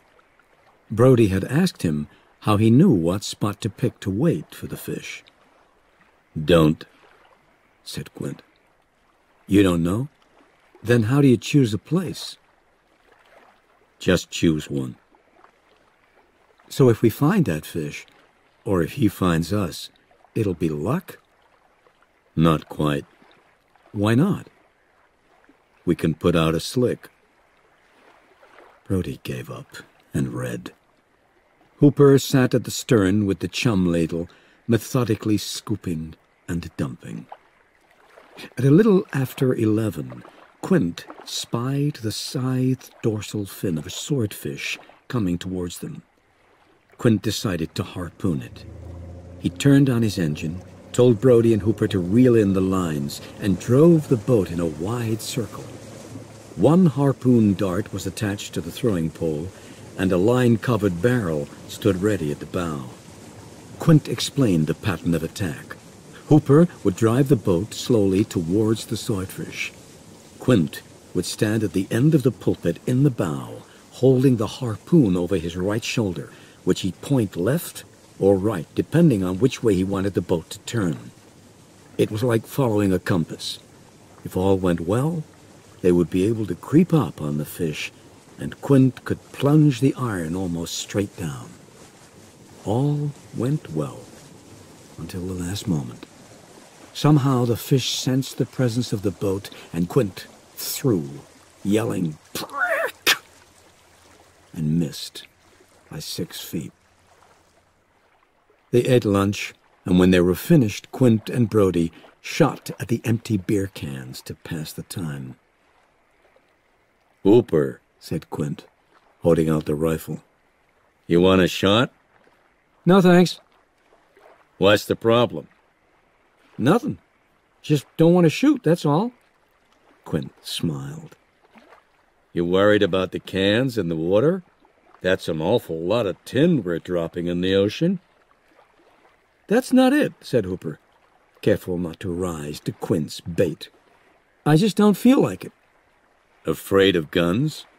Afraid? No. Ever shot one? Sure, Hooper said. I've shot guns before. Where? In the service? No, I. Were you in the service? No. I didn't think so. What's that supposed to mean? Christ. I'd even bet you're still a virgin. Brody looked at Hooper's face to see his response, and for a split second he caught Hooper looking at him. Before looking away, his face beginning to redden. He said, What's on your mind, Quint? What are you getting at? Quint leaned back in his chair and grinned. Not a thing. Just making a little friendly conversation to pass the time. For the next hour, they sat in silence. Suddenly, Quint said, his voice flat, soft, matter of fact, We've got a visitor. Brody snapped awake. Hooper stood up. The starboard line was running out, smooth and very fast.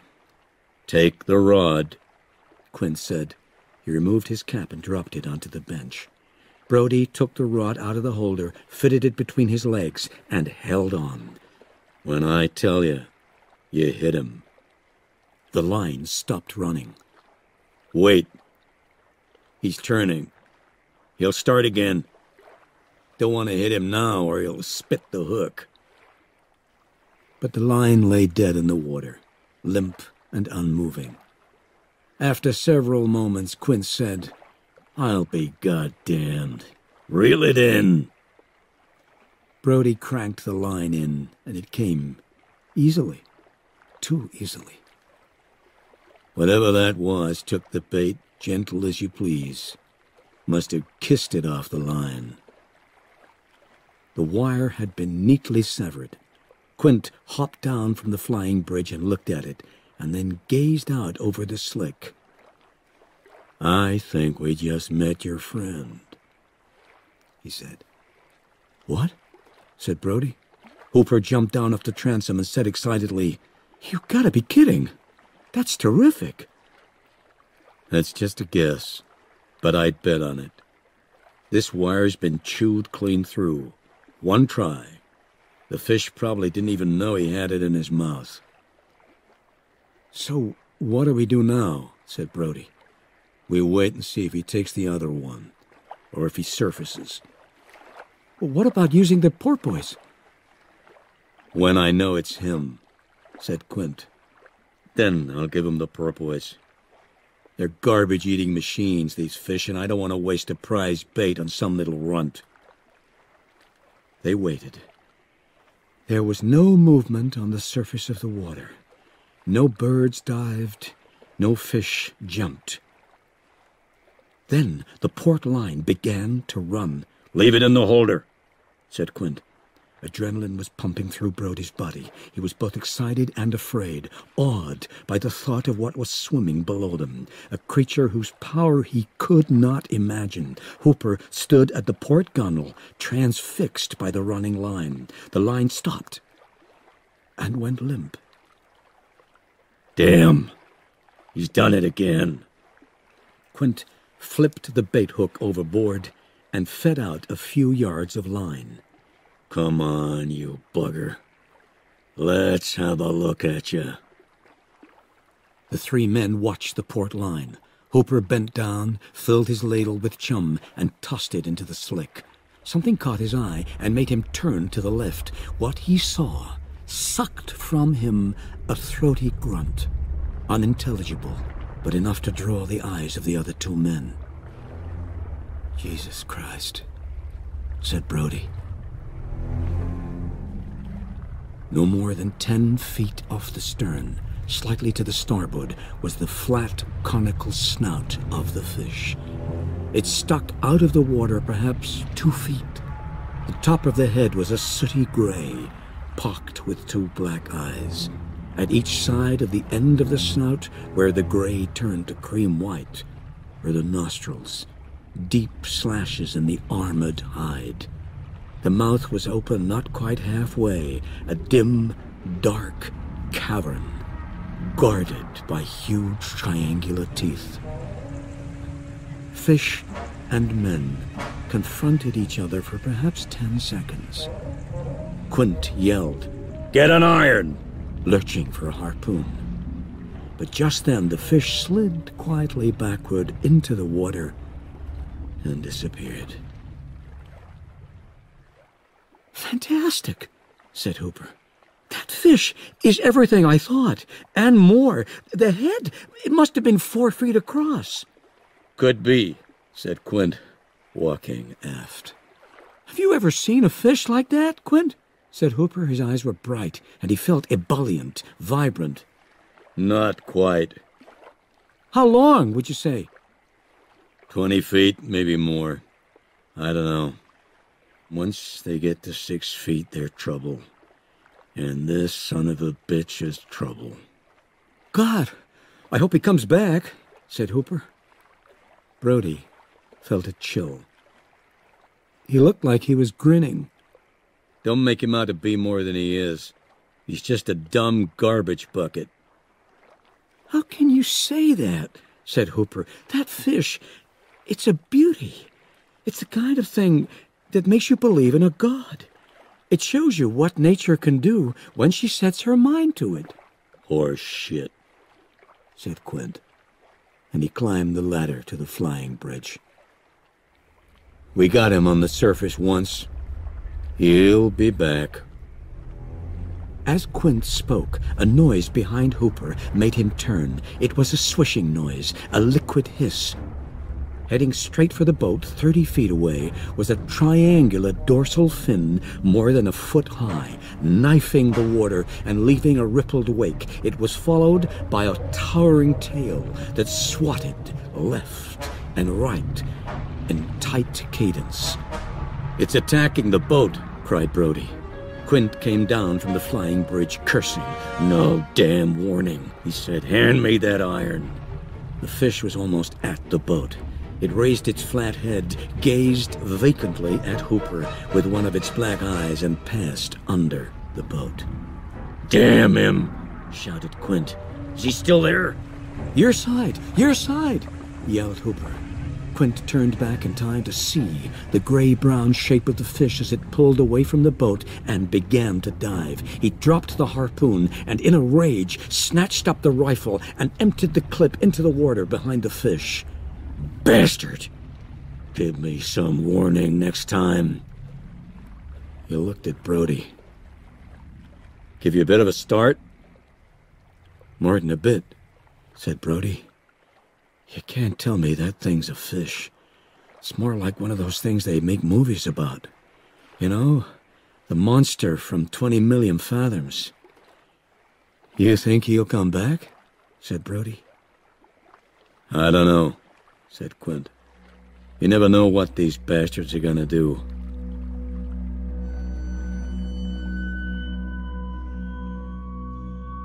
Ellen was fixing the children's supper when the doorbell rang and Larry Vaughan came in.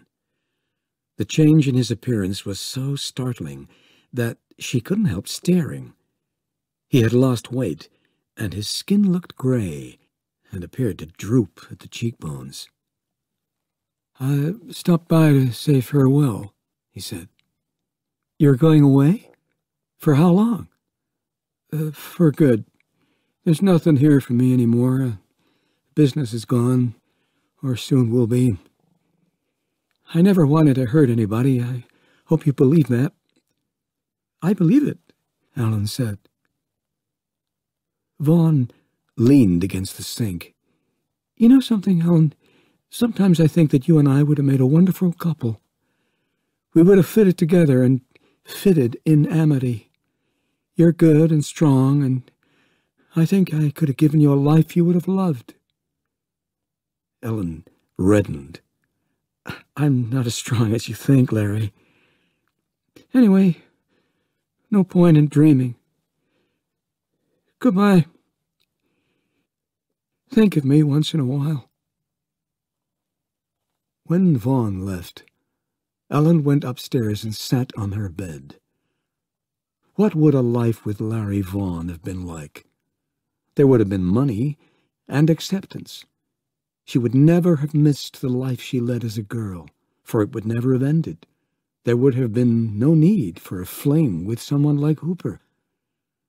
But life with Larry Vaughan would have been life of cheap satisfactions. And as she pondered, she began to recognize the richness of her life. And as her recognition grew, so did a regret that it had taken her so long to see the waste of time and emotion in trying to cling to her past. Suddenly she felt fear. Fear that she was growing up too late, that something might happen to Brody before she could savor her awareness. Something has happened to him, she thought. Oh, please, God, not him.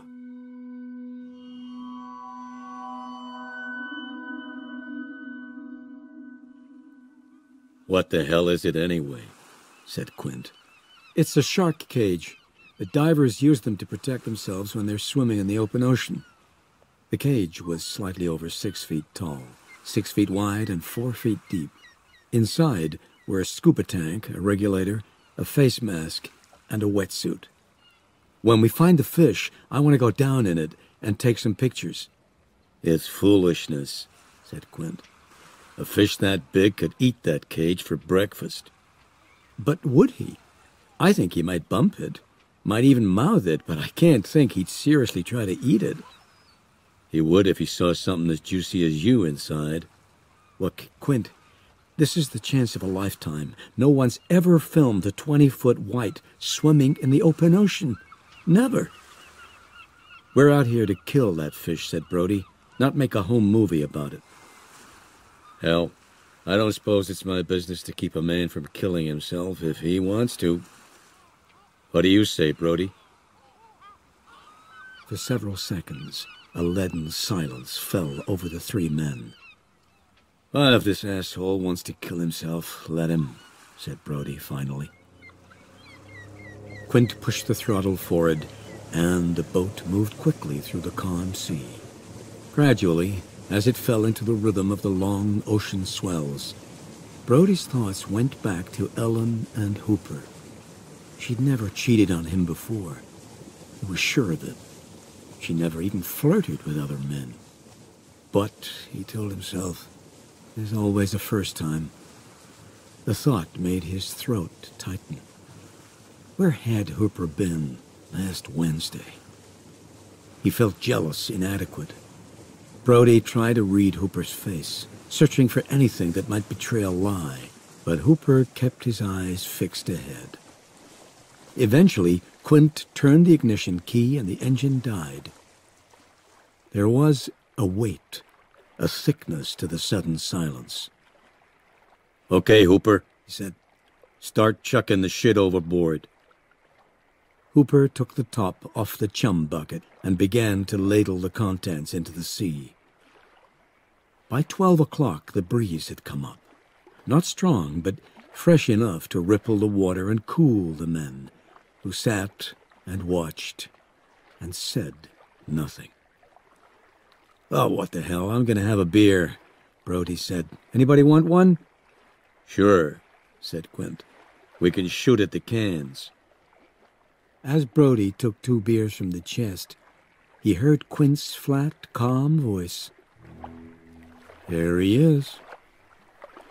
Brody felt his pulse speed up. Where?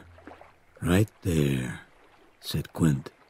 dead off the stern. It took Brody's eyes a moment to adjust, but then he saw the fin thirty yards away. A ragged, brownish gray triangle that sliced through the water. Are you sure it's him? It's him, said Quint. What are you going to do? Nothing. Hooper, you keep ladling. Let's bring him in here. The fish cruised back and forth in the slick, seeming to search for the source of the bloody miasma. I don't get it, said Quint. He should come in and take a look at us. I can't get a shot at him. The fish moved closer, still cruising back and forth, and then it stopped. And for a second seemed to lie motionless in the water. The tail dropped beneath the surface, the dorsal fin slid backward and vanished, and the great head reared up, mouth open in a slack, savage grin, eyes black and abysmal. Brody stared in mute horror, sensing this was what it must be like to try to stare down the devil. Come, fish, purred Quint. Come get your supper. He pointed to the harpoon. Suddenly, the boat lurched violently. Quint fell back, and the harpoon clattered to the deck. The wood under the cleat began to crack, and then the rope snapped backward, went slack. God damn it. I never seen a fish do that before. Let's put the cage overboard, said Hooper. You're kidding, said Brody. Hooper went below and reappeared moments later carrying a movie camera in a waterproof housing and a stick with a thong at one end. What are you doing? Brody said. I'm going down there. Maybe that'll bring him out. You're out of your goddamn mind. What are you going to do if he does come out? Well, first, I'm going to take some pictures of him. Then, I'm going to try and kill him. With what, may I ask? This. Hooper held up the stick. Huh. Good thinking, Quint said with a derisive cackle. If that doesn't work, you can tickle him to death. What is that? said Brody. Well, it's basically an underwater gun with a 12 gauge shotgun shell. When you get close enough, you jab the fish and the shell goes off. If you hit him right, the brain's the only sure place, you kill him. And if you don't? Well, that's what I'm afraid of. I would be too, said Quint. I don't think I'd like 5,000 pounds of pissed off dinosaur trying to eat me. Well, Quint, you're not having much success, are you? You'll be dead of old age before he comes up. Quint looked at Hooper and said evenly, You telling me my business, boy? No, but I think this fish is more than you can handle. That right, boy. You think you can do better, in Quint? Call it that if you want.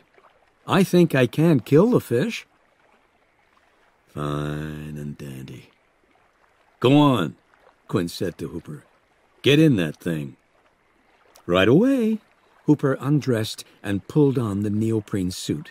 Then lifted the scuba tank on. Oh, I should have brought some weights, he said. You should have brought some brains, Quint said. Quint and Brody pulled on the ropes, and the cage rose in the water. When the hatch broke the surface, Hooper dived overboard through the open hatch and then put his thumb and index finger together in the OK sign. They released the ropes and let the cage descend. Get the rifle, said Quint. He climbed onto the transom and lifted the harpoon to his shoulder. Below, Hooper waited until the bubbly froth of his descent had dissipated. He felt serene. It was the pervasive sense of freedom and ease that he always felt when he dived. He was alone in the blue silence, speckled with shafts of sunlight that danced through the water. The only sounds were those he made, breathing, a deep, hollow noise as he breathed in, and a soft thudding of bubbles as he exhaled. Even with the bright sunlight, the visibility in the murky water was poor, no more than forty feet. Hooper turned slowly around, trying to pierce the edge of gloom. Nothing. He snapped his eyes down again. Rising at him from the darkling blue, slowly, smoothly, was the shark. It rose with no apparent effort, an angel of death gliding towards an appointment foreordained. Hooper stared, enthralled, unable to move. As the fish drew nearer, he marveled at its colors. The flat brown grays seen on the surface had vanished. The top of the immense body was a hard ferrous gray, bluish where dappled with streaks of sun. Beneath the lateral line, all was creamy, ghostly white. The fish came closer, silent as a shadow, turned, and passed before Hooper's eyes, casually, as if in proud display of its incalculable mass and power. Tentatively, Hooper stuck a hand through the bars and touched the flank. It felt cold and hard, not clammy, but smooth as vinyl. He let his fingertips caress the flesh until he heard faint popping noises, and he saw three straight spirals of angry bubbles speed from the surface, then slow and stop well above the fish. Bullets. Not yet, he told himself. One more pass for pictures. The fish began to turn, banking, the rubbery pectoral fins changing pitch, then rammed through the space between the bars. What the hell is going on down there? said Brody. Why didn't he jab him with the gun? Quint didn't answer. Come up, fish, he said. Come to Quint. Hooper raised his camera and pressed the trigger. He wanted to catch the beast as it emerged from the darkness. Through the viewfinder, he saw the fish turn towards him. It moved fast, tail thrusting vigorously, mouth opening and closing as if gasping for breath. A shiver traveled the length of its body as it closed on the cage. The fish struck the cage head on, the snout ramming between two bars and spreading them, and knocking Hooper backward. The camera flew from his hands, and the mouthpiece shot from his mouth. It's attacking! screamed Brody. He grabbed one of the ropes and pulled, desperately trying to raise the cage. God damn your black soul, Quint shouted. The fish slid backward out of the cage and turned sharply to the right in a tight circle. Hooper reached behind his head, found the tube and the mouthpiece, put it in his mouth, and drew an agonized breath. It was then that he saw the wide gap in the bars and saw the giant head lunging through it. He raised his hands above his head, grasping at the escape hatch. The fish rammed through the space between the bars, spreading them still further with each thrust of its tail. Hooper, flattened against the back of the cage, saw the mouth reaching, straining for him. He remembered the gun, and he tried to lower his right arm and grab it. The fish thrust again, and Hooper saw with a terror of doom that the mouth was going to reach him. The jaws closed around his torso. The fish bit down. And the last thing Hooper saw before he died was the eye, gazing at him through a cloud of his own blood. He's got him! cried Brody. Do something! The man is dead, Quint said. How do you know? We may be able to save him. He is dead. Holding Hooper in its mouth, the fish backed out of the cage. It sank a few feet, chewing, swallowing the viscera that were squeezed into its gullet. Then it shuddered and thrust forward with its tail, driving itself and prey upward in the water. He's coming up, said Brody. Grab the rifle. Quint cocked his hand for the throw. The fish broke water 15 feet from the boat, surging upward in a shower of spray. Hooper's body protruded from each side of its mouth, head and arms hanging limply down one side, knees, calves, and feet from the other. In the few seconds while the fish was clear out of the water, Brody thought he saw Hooper's glazed eyes staring open through his face mask, as if in contempt and triumph. The fish hung suspended for an instant, challenging mortal vengeance. Simultaneously, Brody reached for the rifle and Quint cast the harpoon, but the iron went high. For another instant, the fish remained on the surface, its head out of the water. Shoot! yelled Quint. For Christ's sake, shoot! Brody shot, without aiming. The first two shots hit the water. The third, to Brody's horror, struck Hooper. The fish began to slip beneath the surface. Bullets plopped harmlessly into the swirl where the head had been. The fish might never have been there. There was no noise, save the whisper of a breeze. The water was calm. The only difference was that Hooper was gone. What do we do now? said Brody. What in the name of God do we do now? This fish is too much for us. It's not real. Not natural. Are you a beaten man? I'm beaten. All we can do is wait till God or nature or whatever the hell is doing this to us decides we've had enough. It's out of man's hands. Not mine. I'm gonna kill that thing, said Quint. His eyes searched the sea, craving another confrontation. I am gonna kill that fish. As Quint spoke, Brody looked into his eyes. They seemed as dark and bottomless as the eye of the fish. I don't guess I have any choice. No, said Quint. We have no choice.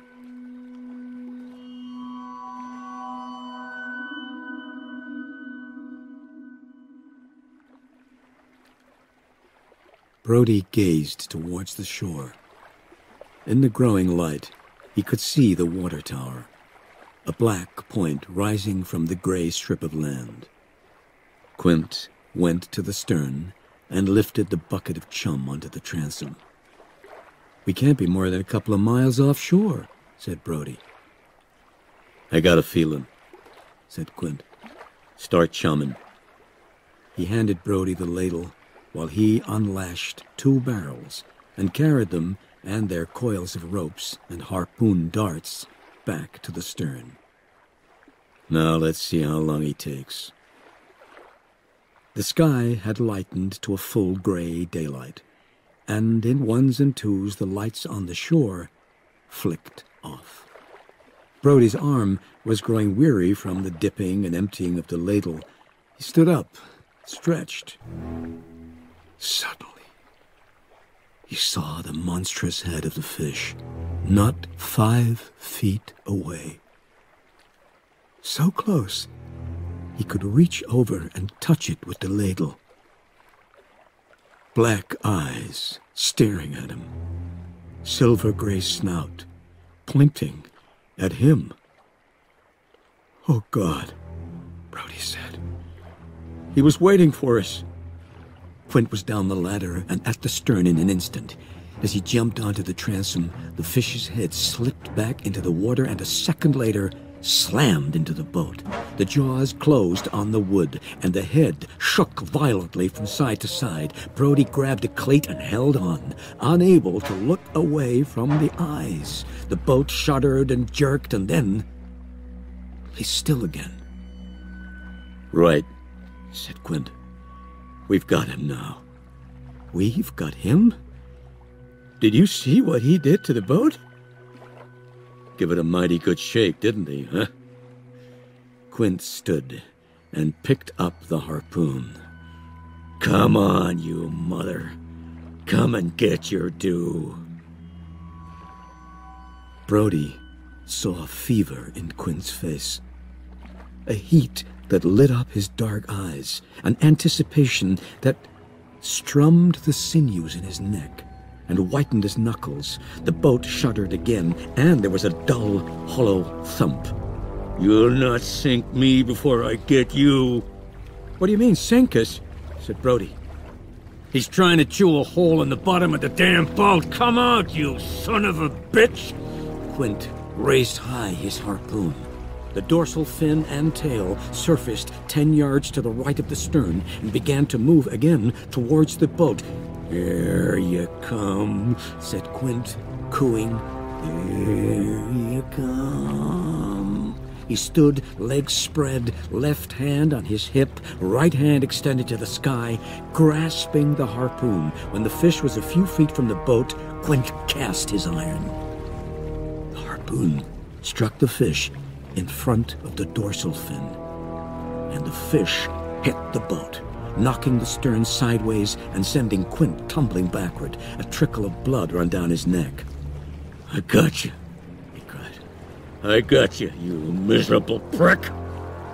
The rope attached to the iron dart snaked overboard as the fish sounded. And when it reached the end, the barrel popped off the transom, fell into the water, and vanished. He took it down with him, said Brody. Not for long, said Quint. He'll be back. And we'll throw another into him and another and another until he quits, and then he's ours. Quint's confidence was contagious, and Brody now felt ebullient, relieved. Hell! Yeah! he yelled. Here he comes, said Quint, pointing. The barrel came to the surface and bobbed in the water. Quint raised the harpoon. He's coming up.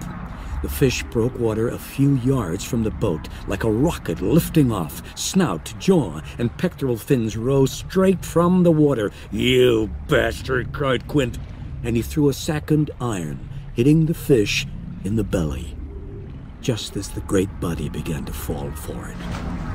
It smacked the water with a thunderous boom, sending a blinding fall of spray over the boat. He's done, said Quint, as the second rope uncoiled and tumbled overboard.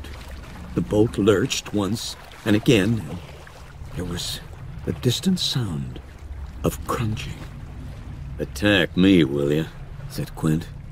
He ran forward and started the engine, and the boat moved away from the bobbing barrels. Has he done any damage? said Brody. Some. He probably poked a hole in us. Nothing to worry about. We'll pump her out. So that's it then? The fish is as good as dead? Not quite. Look. Following the boat, keeping pace, were the two red wood barrels. Dragged by the great force of the fish, each cut through the water, pushing a wave before it and leaving a wake behind it. He's chasing us, said Brody. Quint nodded. He means to make a fight of it. For the first time, Brody saw a frown of disquiet on Quint's face. It was not fear, nor true alarm, but rather a look of uneasy concern, as if in a game the rules had been changed without warning, or the stakes raised. Have you ever seen a fish do this before? he asked. Not like this. Most times, Once you get an iron in them, they stop fighting. The boat was turning this way and that in response to Quint's random turning of the wheel. Always the barrels kept up with them. Fine, said Quint. If it's a fight he wants, it's a fight he'll get. He throttled down to idling speed. He jumped up onto the transom and picked up the harpoon. Excitement returned to his face. Okay, come and get it. The barrels kept coming, plowing through the water 30 yards away, then 25, then 20. Brody saw the flat plane of gray pass along the starboard side of the boat, six feet beneath the surface. He's here, Brody cried, heading forward. Damn, said Quint, standing at the end of the pulpit, harpoon raised. The fish had already passed out of range. Thirty yards in front of the boat, it turned. The head raised out of the water, then dipped back in. The tail, standing like a sail, began to thrash back and forth. Here he comes, said Quint. The fish hit the bow head on, with a noise like a muffled explosion. Quint cast his iron. It struck the fish atop the head, over the right eye, and it held fast. The rope fed slowly overboard as the fish backed off. Perfect, said Quint. Got him in the head. There were three barrels in the water now, and they skated across the surface. Then they disappeared. God damn, said Quint. That is no normal fish that can sound with three irons in him and three barrels to hold him up. For three hours they waited, tracking the barrels as they moved, ever more slowly, on a random path across the surface of the sea. At first, they would disappear every ten or fifteen minutes, resurfacing a few dozen yards away. Then, their submergences grew rarer until by 11.30 they were wallowing in the water. The rain had stopped, and the sky was an unbroken sheet of gray. What do you think? said Brody. Is he dead? I doubt it. But he may be close enough for us to throw a rope round his tail and drag him till he drowns. At the foot of the gin pole was an electric winch. Quint switched it on, then gunned the engine and slowly moved the boat towards the barrels. When he came alongside them, he reached overboard with a gaff, snagged a rope, and pulled a barrel aboard. He then took a knife from the sheath at his belt and cut the rope, then stabbed the knife into the gunwale. He ran the rope through a pulley to the winch, then took a few turns around the winch and flipped the starter switch. As soon as the slack in the rope was taken up, the boat heeled hard to starboard, dragged down by the weight of the fish. Can that winch handle him? asked Brody. They'll never haul him out of the water, but it'll bring him up to us. The winch was turning slowly, humming. The rope quivered under the strain, scattering drops of water on Quint's shirt. Suddenly, the rope started coming too fast. It fouled on the winch, coiling in snarls. The boat snapped upright. Rope break? said Brody. And now Brody saw fear in Quint's face. The son of a bitch is coming up. He dashed to the controls and threw the engine into forward. But it was too late. The fish broke water right beside the boat with a great rushing whoosh of noise. It rose vertically, and in an instant of horror, Brody gasped at the size of the body towering overhead. It blocked out the light. The pectoral fins hovered like wings, stiff and straight, and as the fish fell forward, they seemed to be reaching out to Brody. The fish landed on the stern of the boat with a shattering crash, driving the boat beneath the waves. In seconds, Quint and Brody were standing in water up to their hips. The fish lay there, its jaw not three feet from Brody's chest. The body twitched, and in the black eye as big as a baseball, Brody thought he saw his own image reflected. God damn your black soul, screamed Quint. You sunk my boat! The barrel floated into the cockpit, the rope writhing like a gathering of worms. Quint grabbed a harpoon dart at the end of the rope, and with his hand, he plunged it into the soft white belly of the fish. Blood poured from the wound and bathed Quint's hands. The boat was sinking. The fish rolled off the stern and slid beneath the waves. The rope, attached to the dart Quint had stuck into the fish, followed. Suddenly, Quint lost his footing and fell backward into the water. The knife! he cried, lifting his leg above the surface. And Brody saw the rope coiled around Quint's foot. Brody looked back to the starboard gunwale. The knife was there, embedded in the wood. He lunged for it, wrenched it free, and turned back, struggling to run in the deepening water. He could not move fast enough. He watched in helpless terror as Quint, reaching towards him with his grasping fingers, eyes wide and pleading, was pulled slowly down into the dark water. For a moment, there was silence, except for the sucking sound of the boat slipping gradually down. The water was up to Brody's shoulders, and he clung desperately to the gin pole. A seat cushion popped to the surface next to him, and Brody grabbed it. He saw the tail and dorsal fin break the surface twenty yards away. The tail waved once left, once right, and the dorsal fin moved closer. Oh, get away! Get away, damn you! Brody yelled, and the fish kept coming, barely moving closing in.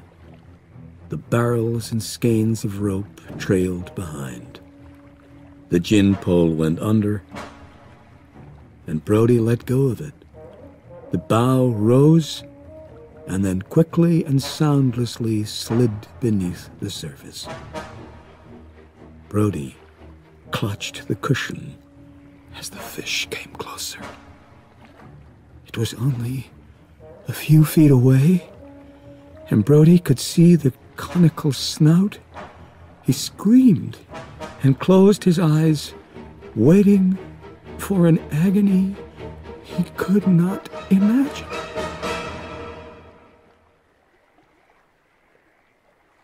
Nothing happened. He opened his eyes. The fish was nearly touching him, only a foot or two away, but it had stopped. And then, as Brody watched, the steel gray body began to recede downward into the gloom. It seemed to fall away, an apparition evanescing into darkness.